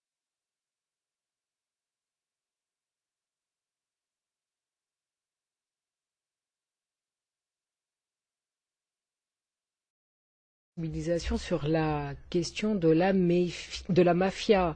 Il faut éviter toute euh, superposition, amalgame pour, avec les questions du Sud, c'est-à-dire que c'est quelque chose qui ne concerne pas, qui ne touche pas l'Europe. Je pense qu'en tant que groupe politique, nous devrions nous charger de ces questions. Je crois que cela est particulièrement important. D'ailleurs, c'est euh, processus de corruption et les modèles de euh, développement sont intimement liés. Moi, je ne pense pas que ce soit un hasard qu'il y ait euh, trois euh, chantiers publics inutiles. Nous avons le train Turin-Lyon, l'axe Turin-Lyon, l'Expo, tout cela est lié à la corruption. Je pense que nous, à la gauche, nous devons euh, indiquer que la, la question de la corruption n'est pas une question neutre sur le plan politique. C'est une question qui est liée au type de modèle de développement préconisé, proposé. Et je voudrais poser une question qui euh, n'est pas directement liée entre cette relation étroite entre le monde politique et les médias. En Italie, il y a un débat sur la question de la mafia et du capital cette semaine. La solution qui est proposée par le gouvernement est l'exposition de Milan et le modèle je crois que le modèle de l'expo, comme nous l'a dit Travaillot il y a peu, eh bien, je souhaiterais savoir nos lecteurs voient cette relation entre Milan et Rome.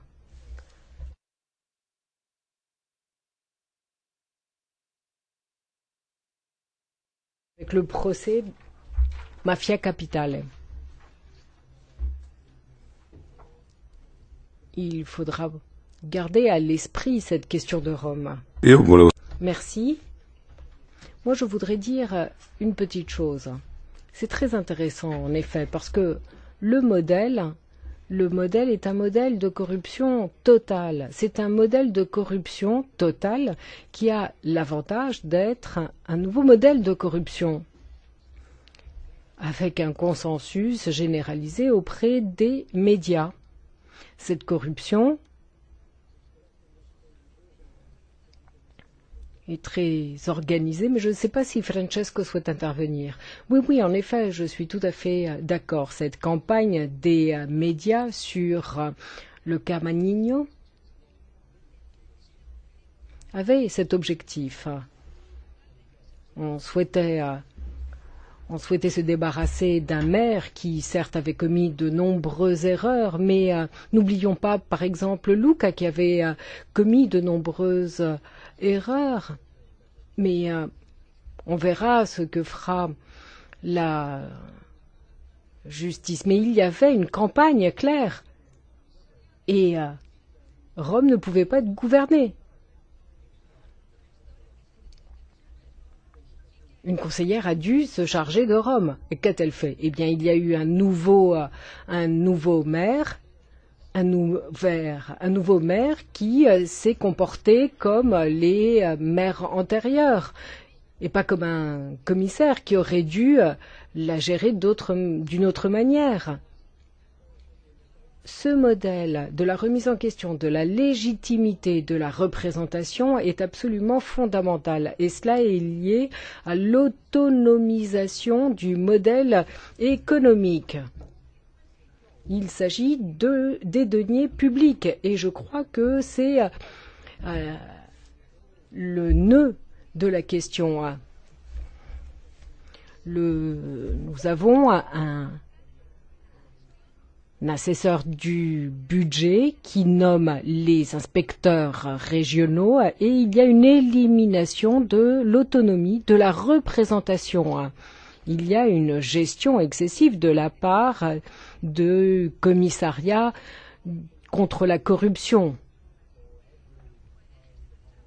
On ne peut gérer ainsi les contrats publics. Je pense qu'il faut retrouver la légitimité et ne pas penser qu'au nom de la lutte contre ces personnes ennemies du bonheur, on ait pu commettre toutes ces questions qui, à mon sens, sont gravissimes. Bien, nous allons conclure ce panel. Une petite pause.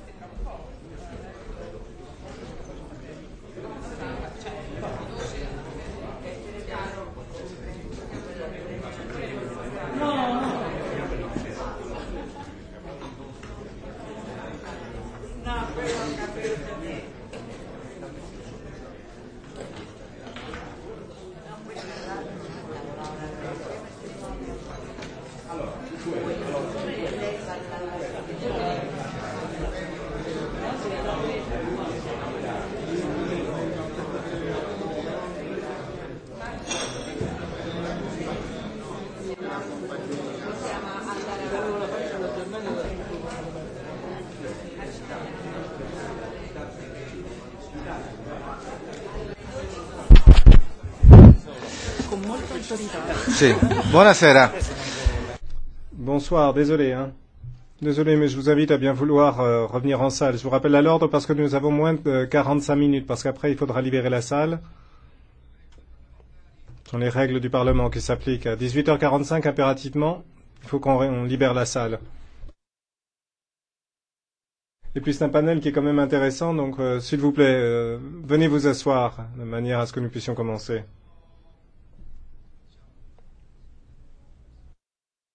Ah, j'ai perdu mes lunettes. Alors, le sujet de ce deuxième panel, c'est l'impact social du crime organisé. Donc, c'est l'étape suivante, en quelque sorte. On a parlé du niveau politique et du niveau judiciaire. Maintenant, on va parler du niveau concret, celui des citoyens. Et euh, trois intervenants, euh, Lorenzo euh, journaliste et coordinateur à Libera Informazione, euh, vous le connaissez tous, un organe de lutte contre la mafia, euh, s'occupe de tout cela au jour le jour, comme les deux autres intervenants. Et lui, ce qui l'intéresse, c'est de donner des informations sur le crime organisé. Et comme on l'a dit tout à l'heure, euh, souvent, nous, euh, journalistes, euh, nous bottons touche en quelque sorte, nous n'en parlons pas beaucoup. Ensuite, ce sera Anna Riccardi qui interviendra, qui travaille à Scampia, dans une euh, école primaire dont elle est vice-présidente. Euh, vous savez qu'il y a eu une association euh, des, plus jeunes dans ce, dans ce collège, pardon, pas une école primaire, un collège, où l'on on essaye justement de, d'assurer la mixité sociale, c'est-à-dire d'éviter que les gens euh, de se retrouver coincés. Et ensuite, dans une situation. Et ensuite, Franco Ianiello. Entre la Camorra. Lotta. Entendez-vous bien la cabine française? Donc je vous disais, petit problème technique, les interprètes vous présentent leurs excuses. Alors, euh, il s'agit d'utiliser les armes de la culture. C'est de cela que Franco Ianiello vous parlera, euh, mais il est mieux placé pour en parler que, moi. Euh, c'est un sujet extrêmement intéressant et je ne doute pas qu'il aura des choses à nous dire. Donc Lorenzo, si tu veux bien commencer. Ah oui, et puis je vous rappelle que euh, 7 minutes par personne, c'est le maximum, hein, si on veut avoir un peu de temps pour les questions. Oui, merci, merci de m'avoir invité à prendre la parole. Alors, euh, je vais parler de Falcone, de Falcone, pardon, parce que sans le sang versé par les victimes, il est probable que la majorité des citoyens italiens auraient continué de vivre la mafia au quotidien comme quelque chose qui est tout simplement euh, accessoire dans leur vie et à laquelle il ne faut pas s'atteler. Et sans ce dégoût face à la violence de la mafia, il n'y aurait pas eu d'espace pour Libera. Libera Informazione n'aurait tout simplement pas vu le jour. Elle a vu le jour le 25 mars 1980. 15, l'objectif était d'associer euh, tous ceux qui étaient intéressés par la lutte contre la mafia et de fédérer leur lutte et de construire des parcours démocratiques légaux qui respectent la Constitution. La date formelle de naissance n'est jamais que la date d'arrivée d'un parcours très long euh, qui euh, a commencé immédiatement après les stratégies que j'ai évoquées au début de mon intervention. Il y a eu beaucoup de points de non-retour dans, notre, dans l'histoire de notre pays.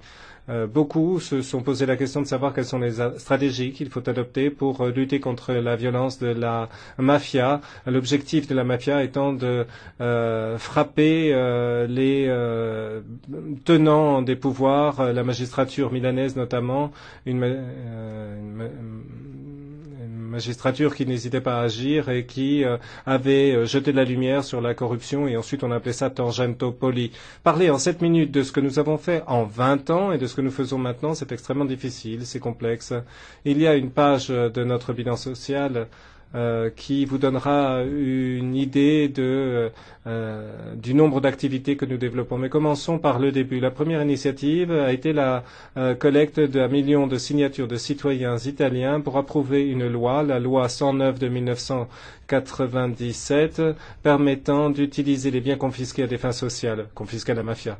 Et le mouvement populaire euh, qui était au début, qui était à l'origine de ce mouvement, consistait à dire que nous souhaitions que tous les biens de la mafia et des corrompus soient saisis et confisqués, les biens meubles et biens immobiliers soient confisqués et utilisés par les collectivités locales afin de créer des emplois, des écoles, des services, la sécurité et afin de lutter contre la marginalisation.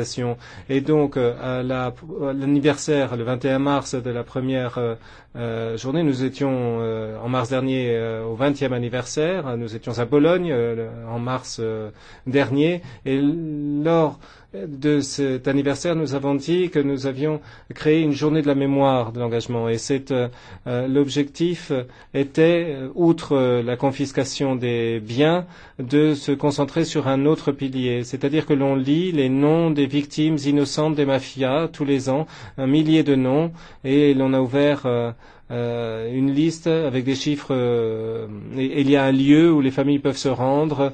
Euh, euh, les victimes, les proches des victimes euh, de la mafia ne connaissent pas la vérité parce que souvent euh, euh, les témoins ont été tués. Et puis en 97, il y a eu une longue chevauchée avec beaucoup d'initiatives. En 2000, il y a eu le projet Liberaterra. C'est un cadre qui a été donné à des pro, euh, c'est une marque, pardon, qui détermine, qui, qui dé, dé, décrit des produits provenant de coopératives financées par l'argent confisqué aux euh, mafieux et corrompus.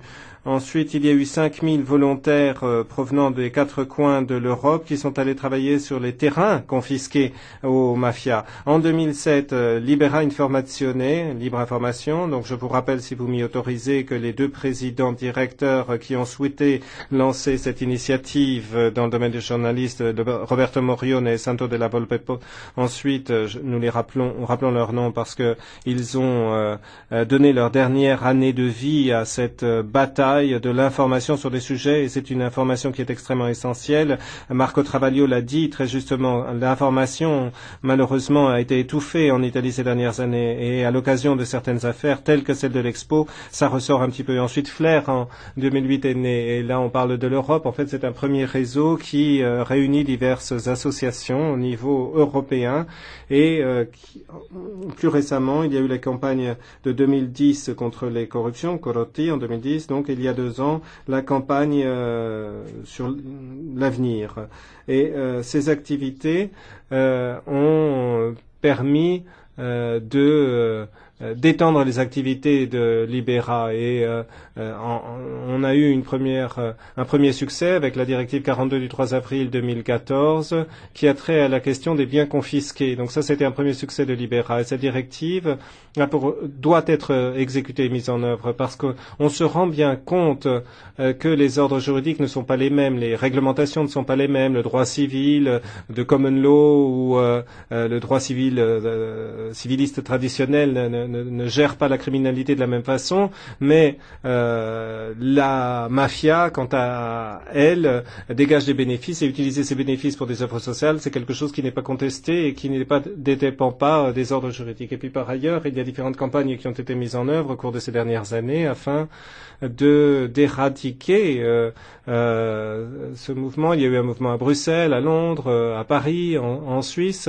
et l'idée était de travailler, d'œuvrer afin de euh, communiquer la lutte contre la mafia, de communiquer la question de la mémoire également. Euh, le 21 mars comme euh, journée de la mémoire de l'engagement, c'est quelque chose qui est important pour l'Europe, j'en ai parlé tout à l'heure. Et puis il y a également la bataille que nous menons afin de parvenir à une directive européenne sur les lanceurs d'alerte, ce qui concerne évidemment tous les phénomènes de corruption. Et il y a là un lien extrêmement étroit avec la question du crime organisé. Puis rapport des 162 également, euh, qui à la base du programme euh, du euh, Falcone Borsellino et euh, Cassara, le commissaire Cassara, euh, euh, on s'en souvient 21, a dit quelque chose. Le pouvoir des mafieux ne découle pas du nombre et de la qualité des différents mafieux, mais surtout de la mise en réseau euh, dans le tissu social et économique, en se fondant dans le réseau social et économique, en y trouvant leur place et ainsi ayant une zone grise énorme. Les ganglions de la mafia sont constitués précisément de ces zones grises à laquelle n'arrive pas à s'attaquer, si ce n'est que de manière très euh, superficielle, le, pouvoir judiciaire. Fin de citation. Donc voilà, on l'a rappelé dans les interventions précédentes, il y a un lien étroit entre la criminalité organisée euh, Et les pouvoirs publics et l'Union européenne doivent en avoir conscience parce que la question des mafias, ce n'est pas une question du sud de l'Italie comme le disait Francesco Forgione, ça n'est pas non plus une question typiquement italienne, c'est quelque chose qui est maintenant présent au niveau planétaire. L'Andrangheta étant le premier broker de euh, trafic de stupéfiants au niveau mondial, euh, la corruption est vraiment euh, endémique au niveau planétaire. Et j'en arrive à ma conclusion parce que le temps qui m'était imparti est arrivé à son terme. Quoi qu'il en soit, la bataille devra être luttée, la bataille devra être menée sur ces terrains, également dans le domaine du recyclage de, de et euh, les crimes environnementaux. Il faudra se doter d'instruments, il faudra renforcer Eurojust, il faudra renforcer Europol et puis également se doter d'un euh, parquet européen qui luttera contre le crime organisé, la mafia. C'est vrai que la mafia a exporté les mafias, mafia en Europe et dans le reste du monde, mais maintenant on se tourne vers l'Italie pour euh, s'inspirer des réglementations mises en place pour la lutte contre la mafia en Italie.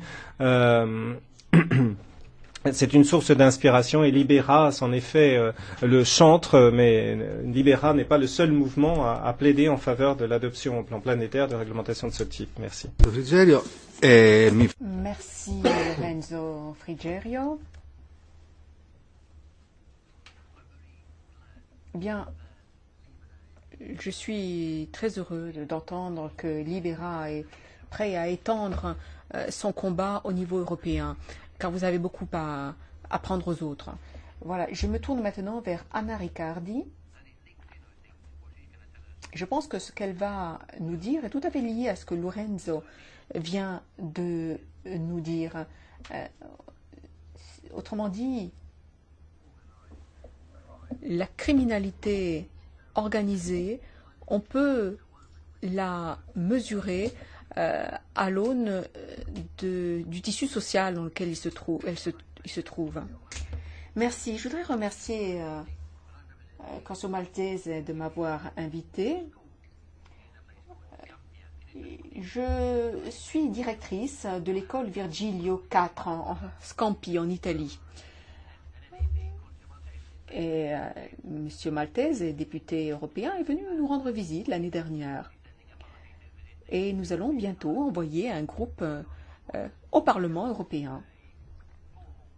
Il ne s'agissait en effet pas d'un simple échange euh, de visites formelles, non, parce que Scampi, c'est l'Europe, l'Europe, c'est Scampi. Et j'aimerais contribuer aujourd'hui à ce débat que je trouve tout à fait fascinant et que nous allons continuer, j'en suis certaine, grâce à Lorenzo. Euh, moi, j'aimerais vous parler de ce qui se passe au quotidien. Euh, vous avez commencé tout à l'heure par citer Roberto Benini. Euh, moi, j'aimerais vous parler de ma petite ville. Ma petite ville qui a sept palais, qui comprend sept palais, mais qui a aussi euh, en son sein quelque chose que l'on appelle le tiers-monde. Et les mots ont leur poids. Et mon école, notamment, se trouve dans cette zone. C'est une zone typiquement urbaine.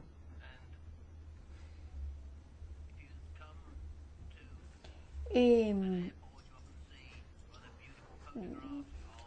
en général, quand on arrive dans un aéroport, eh on voit de belles photos de l'endroit que l'on va visiter. Eh mon école est un endroit plutôt laid, euh, puisque euh, il y a des grilles euh, en fer forgé avant même qu'on puisse entrer dans le bâtiment, ce qui vous donne une idée même de la manière dont l'architecture urbaine de ma ville a été conçue. J'ai commencé à travailler dans cet endroit il y a plusieurs années, J'étais quelque peu inquiète au départ.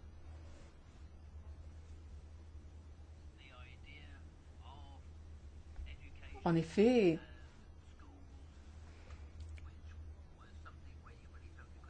pour moi, euh, il était important de travailler dans une école où je pouvais vraiment euh, faire changer les choses. Et en arrivant dans cette endroit, eh bien, euh, j'ai eu euh, euh, au départ un contrat d'un mois qui ensuite a été renouvelé pour durer plusieurs années. Si l'on essaie de voir les choses de manière objective, sans se laisser emporter par les émotions, eh bien, on se rend compte de ce que l'on fait. Moi, ça fait dix ans que je suis là-bas maintenant. Je suis maintenant vice-recteur de cette école. Et en fait, on est confronté à une réalité qui est très différente de ce qu'on vous annonce. Je ne me considère pas comme pessimiste de profession, mais je pense qu'il faut voir la vérité en face. L'école est un facteur clé puisqu'il y a toute une série d'instances qui doivent travailler ensemble, les paroisses, les écoles, les fondations, euh, tous ces organes qui euh, devraient travailler ensemble pour aider les gens à se comporter de manière civilisée. Mais l'État aussi devrait être compris dans cette chaîne. Or, l'État est absent.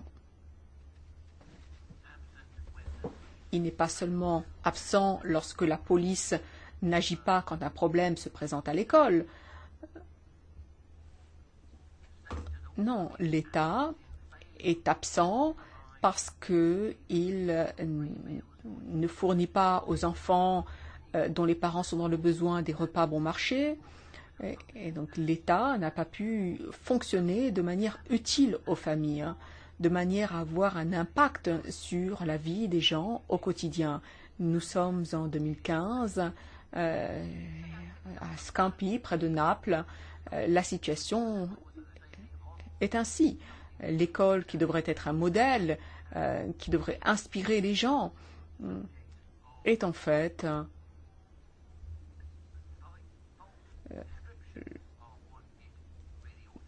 mal décrite. Et en fait, ce que nous devrions faire, c'est changer les choses. On pourrait bien sûr accuser l'Europe qui a obligé l'État italien à se comporter comme il le fait, mais à Scampi, on considère l'école comme quelque chose de distant, quelque chose qui n'est pas vraiment lié à la vie quotidienne des gens. On considère l'école comme un élément de changement social éventuel, donc c'est positif. Hein. Mais l'année dernière, nous avons décidé d'aller chercher les enfants à l'école puisqu'ils puissent se rendre à leurs examens. C'est quelque chose que l'on fait depuis quelque temps. Et euh, pour certains enfants, euh, eh bien, cet examen euh, est important pour sortir de l'école, pour obtenir un diplôme. Et l'année dernière, en, tant que vice-rectrice, eh bien, j'ai dû aller parler aux parents d'une jeune fille qui devait faire son examen de troisième année. Et je vous le raconte en dialecte napolitain, euh, parce que cela vous montre bien quelle est la vie au quotidien euh, là-bas. Elle avait l'impression que l'école n'avait absolument aucun lien avec sa vie au quotidien, que l'école ne servait à rien. Euh, et c'est en tout cas ce que pensait cette famille. Et l'idée même de l'éducation euh, n'était pas quelque chose de réel pour eux. Pour eux, l'école, comme vecteur de promotion, c'était quelque chose de totalement étranger. Et elle m'a simplement dit, écoutez, j'ai des choses à faire aujourd'hui, euh, Madame la directrice, et j'ai besoin d'avoir ma fille avec moi parce que euh, j'ai besoin de son aide, il faut qu'elle m'aide euh, lorsque je vais faire mes courses, donc elle pourra toujours faire l'examen la semaine prochaine. Ce qui signifie que dans un contexte de criminalité,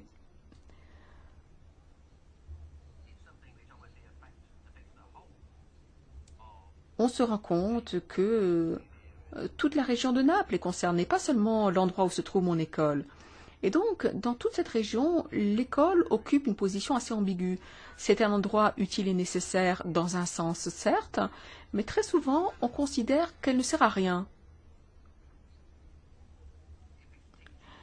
euh, si euh, il s'agit d'apprendre aux gens qui étaient les grands auteurs du XIXe siècle, s'il s'agit de leur apprendre à quoi sert la géométrie, eh bien on considère que ça ne sert à rien. Bon, je pourrais en dire bien plus, mais j'espère que j'ai réussi à insister auprès de cette famille et des gens sur place euh, ce que doit être l'école. L'école, elle doit être proche des gens. Elle doit euh, établir un lien avec les gens, euh, avec la ville et avec l'Europe également. Euh, puisque, comme je vous le disais, nous avons reçu la visite d'un député européen et nous allons lui rendre la politesse. Et lorsque j'ai dit autour de moi que je viendrais ici, eh bien, l'on m'a dit, eh bien, il faut dire à, à Bruxelles que Scambia a besoin de l'Europe et l'Europe a besoin de Scambia. Franco Ianiello. Merci, je donne à présent la parole à Franco Ianiello qui nous a promis d'être extrêmement bref. C'est la raison pour laquelle j'ai donné quelques minutes de plus euh, à Anna Ricardi. Merci, merci infiniment. La culture contre la Comora. C'est une expression qui, dans une réunion, a dit Tout le monde m'a abandonné. Je dois tout abandonner parce que je suis seul. Je suis un ancien fonctionnaire de l'Union et comment peut-on voir que l'Europe abandonne l'Europe et ne fait pas montre de sa solidarité en luttant contre la coméra tous les jours. Et c'est ainsi qu'est née l'idée de créer cette association. J'ai contacté mes amis à l'université. Nous avons ensemble décidé de créer cette association. Je suis le président Franco Agnella et vice-président et l'autre secrétaire est français.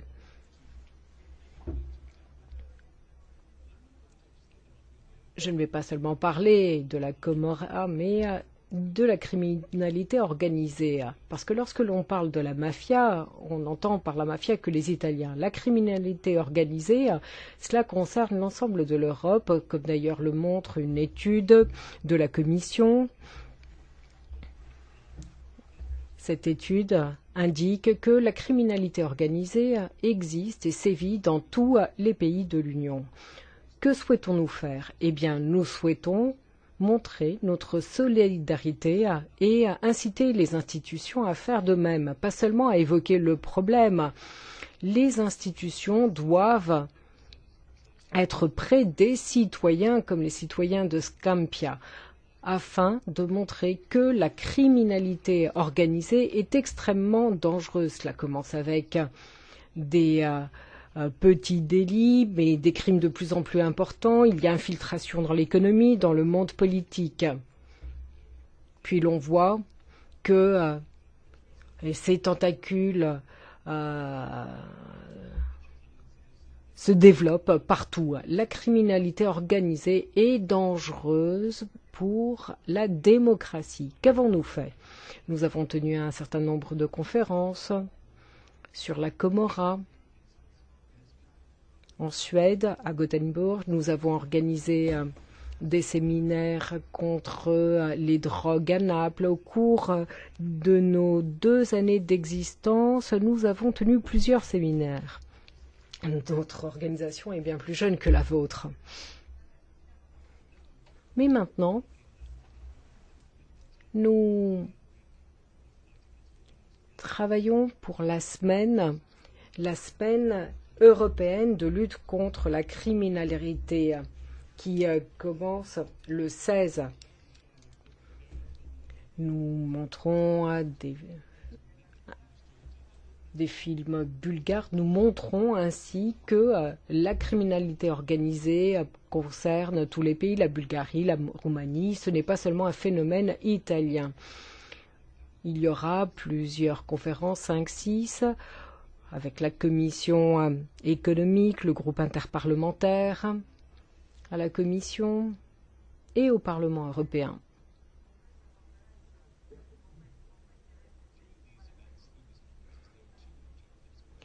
Nous souhaitons atteindre deux objectifs par le biais de ces conférences et ces séminaires. Nous souhaitons réunir toutes les personnes qui luttent contre la criminalité organisée. Écoute, je souhaiterais te remercier de ton invitation. C'est très important, en effet, d'être ici. Les autres institutions ne sont pas ici aujourd'hui, mais nous devons, nous devons euh, parler avec tous ceux qui luttent contre la criminalité organisée, la corruption, parce que sinon nous sommes dispersés, il y a une fragmentation. Néanmoins, nous devons travailler main dans la main. La criminalité organisée est organisée, alors que nous, nous ne sommes pas organisés. Nous devrions l'être autant qu'eux.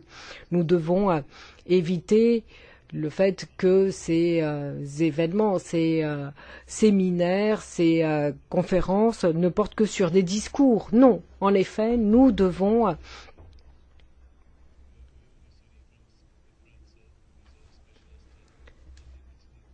nous devons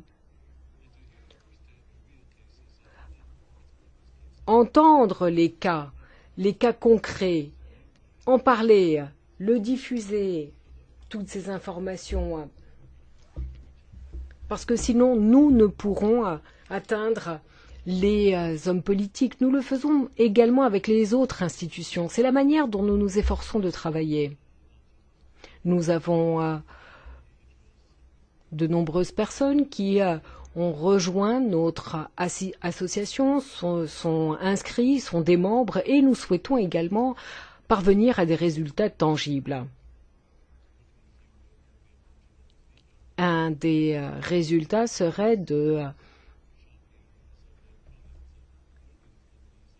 de travailler avec des entreprises, de voir également quel serait, par exemple, un magasin, un magasin, un, magasin symbolique qui vendrait tous les biens saisis Mais dans aucune part des institutions chargées de la culture n'est présente, n'était présente lors de ce colloque. Ni la commission de la culture, qui avait été invitée à quatre ou cinq reprises, ni d'ailleurs la commission européenne, enfin la direction générale chargée de la culture, justement, n'était pas présente non plus. Donc ce qu'on souhaiterait à l'avenir, c'est pouvoir apporter des réponses liées à la culture, parce que ça a été évoqué par euh, d'autres avant moi. C'est pas juste un problème de police ou de justice, c'est un vrai problème de culture de l'égalité qui doit naître dans les écoles et qui doit aboutir euh, en chacun d'entre nous. Or, malheureusement, euh, trop souvent en Italie, la culture que l'on a, c'est une culture de l'illégalité justement, et elle, semble être omniprésente. Et c'est sur ce front-là que nous devons lutter. C'est à cela que nous devons euh, nous atteler comme tâche. C'est ça la lutte qu'on doit mener. Et puis ce que nous souhaitons par ailleurs également, c'est de faire en sorte que ce qu'on puisse avoir, c'est une priorité fixée au financement prioritaire dans les financements euh, priorité dans les financements communautaires aux organisations qui luttent contre le crime organisé, que ce soit Libera, que ce soit le comité de, de Diana, qui a une antenne chez nous, ou que ce soit d'autres structures, elles doivent être privilégiées parce qu'elles sont mises en concurrence avec des structures qui peuvent bénéficier euh, bénéficier euh, des euh, multinationales qui elles-mêmes bénéficient d'agences d'experts conseils pour les projets. Non, les projets, ils doivent être accordés en priorité à des organisations qui, entre autres, luttent contre le crime organisé. Donc nous, nous avons des propositions.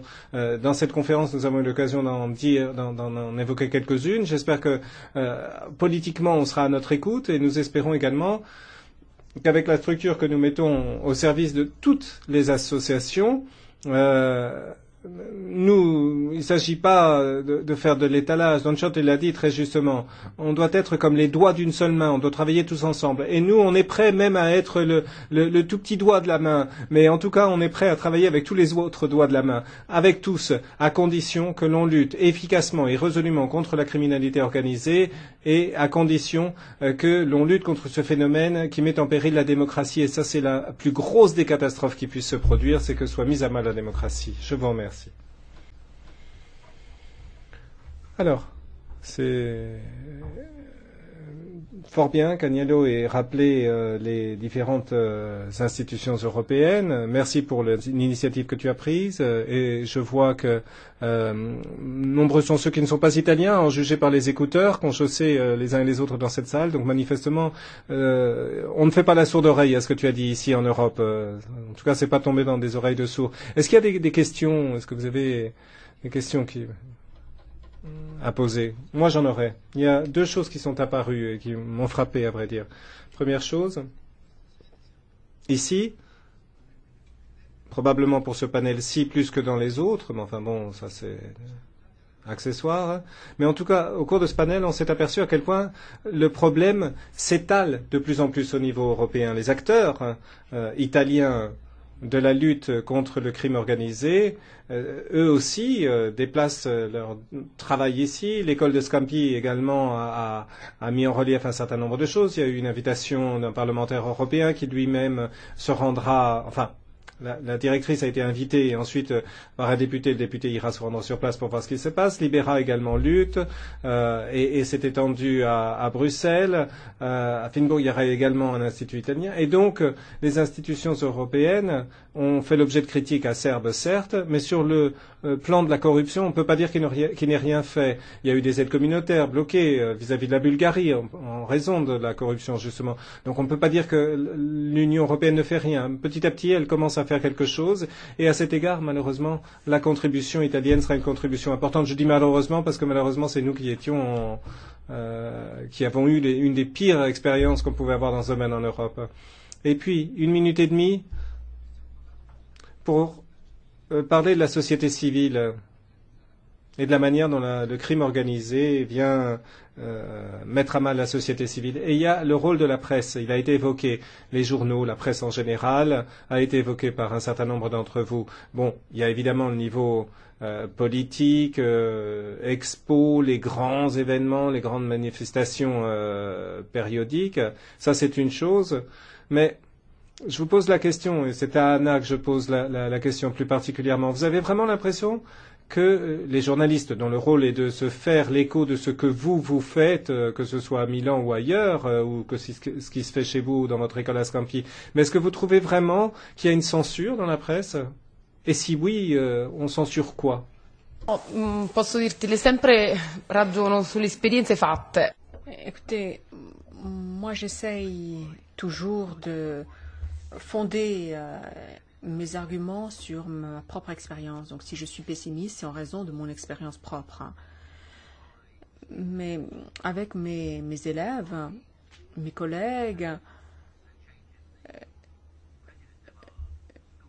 nous avons euh, eu un changement au conseil d'administration de l'école et j'ai toujours essayé de leur dire que je parlerai de ce qui se passe. Je leur ai dit, voilà, nous allons aller au Parlement européen avec euh, 20 élèves.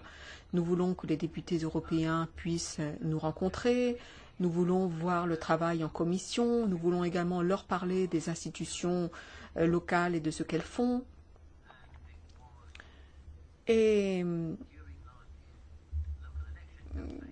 tout ça s'est passé euh, en même temps que les campagnes électorale de l'année dernière. Et on m'a dit, Anna, c'est une idée formidable, mais ça, tu ne peux pas le faire maintenant, parce que nous sommes tous en train de nous concentrer actuellement euh, sur la politique locale. C'est ça ce qui fera les gros titres.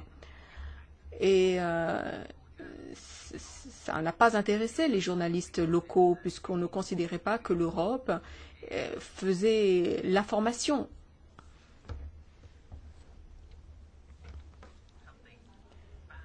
Et si quelque chose euh, de grave euh, s'était passé, par exemple s'il y avait eu une bataille au couteau euh, entre deux élèves à l'école, alors là oui, on aurait fait les gros titres. Les journaux ne s'intéressent qu'aux mauvaises nouvelles. Moi j'ai eu de bonnes nouvelles, des nouvelles charmantes, intéressantes, des, rêves d'adolescents qui vivent dans des conditions difficiles, dans des endroits de vie difficiles, qui ont réussi à aller à Bruxelles, à parler à des députés européens, et ça n'a pas intéressé la presse. Parce que euh, euh, de toute façon, euh, les, les familles n'étaient pas des familles aisées, ni quoi que ce soit. Euh, donc, il y a de bonnes nouvelles, mais elles n'ont pas d'impact sur le territoire local, alors que ça intéresserait les gens. Pour delle cose che diceva lei. Eh bien, oui, je peux confirmer ce que Anna vient de vous dire. Euh, les bonnes nouvelles, euh, ça équivaut à pas de nouvelles. Si vous avez euh, un incendie de forêt ou si vous avez un incendie dans des vignes ou si vous avez des enfants qui... Euh, ça, c'est intéressant, mais si vous avez des enfants qui sont prêts à travailler sur les terres confisquées à la mafia, ça, ça n'intéresse pas. En Italie, euh, vous avez le choix entre écrire sur des restaurants ou euh, écrire sur un livre sur les chevaliers du temple et pas grand-chose d'autre. Euh, pas la criminalité organisée en tout cas, pas la corruption.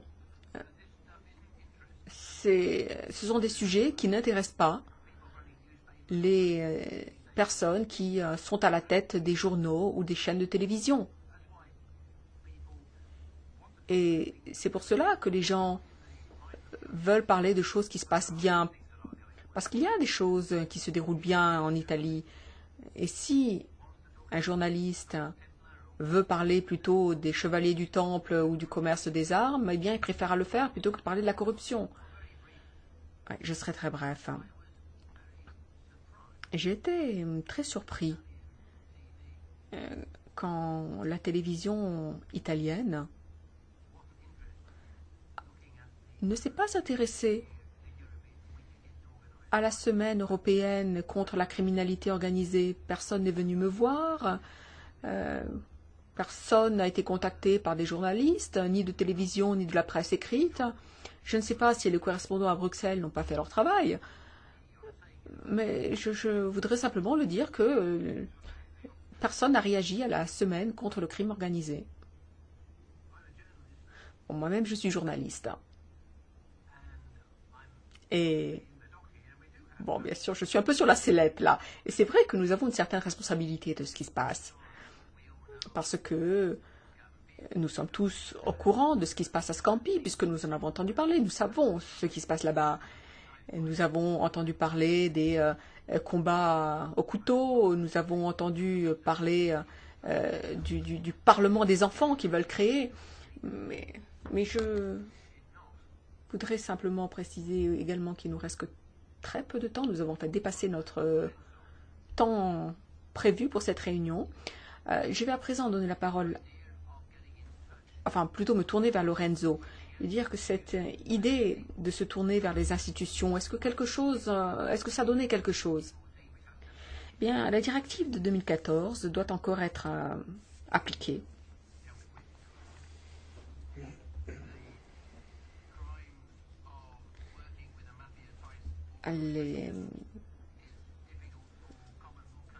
pour les pays du droit commun, il n'est pas facile d'appliquer, de transposer la directive concernant la criminalité type mafia.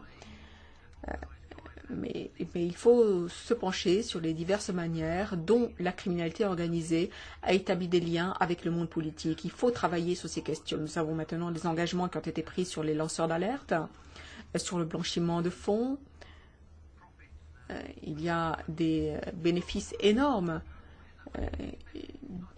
liés au trafic de drogue, eh bien voyez où cet argent est investi. Il n'est pas seulement investi en Italie, il est investi partout en Europe. Suivez l'argent, comme quelqu'un l'a déjà dit. Et si on fait cela, eh bien on arrivera à savoir très exactement combien d'argent a été dépensé dans beaucoup de pays européens, en Espagne, en France, en Allemagne, en Angleterre. Oui, tout à fait. Euh, moi, je viens d'une région où le préfet a dit que la mafia n'existe pas. Ça n'existe pas. Et puis, euh, une opération anti-mafia a été réalisée sous son nez. Donc, à l'évidence, il ne savait pas très bien de quoi il parlait. Euh, ce sont donc des choses dont il faut parler. Il faut l'expliquer aux gens. Il faut dire aux gens que c'est un phénomène qui, euh, certes, est né en Italie, mais qui s'est ensuite étendue, pas seulement au sud de l'Europe, mais également au nord de l'Europe. Et ce, pas parce que des extraterrestres euh, sont venus euh, occuper des corps sains, mais parce que c'est comme ça que les choses fonctionnent. La mafia s'est d'abord déplacée vers le nord de l'Italie, et maintenant c'est exactement la même chose, elle se déplace vers le nord de l'Europe. Elle ne s'est pas déplacée vers le nord de l'Italie parce que les gens se sont déplacés du sud vers le nord. Non, elle s'est déplacée vers le nord de l'Italie parce que dans le nord, certains euh, ont permis à la mafia de lancer des petites opérations mafieuses, kidnapping, trafic de drogue, avec les mêmes personnes et d'autres crimes qui se sont ensuite répandus en Ligurie, euh, en Émilie-Romagne. Euh,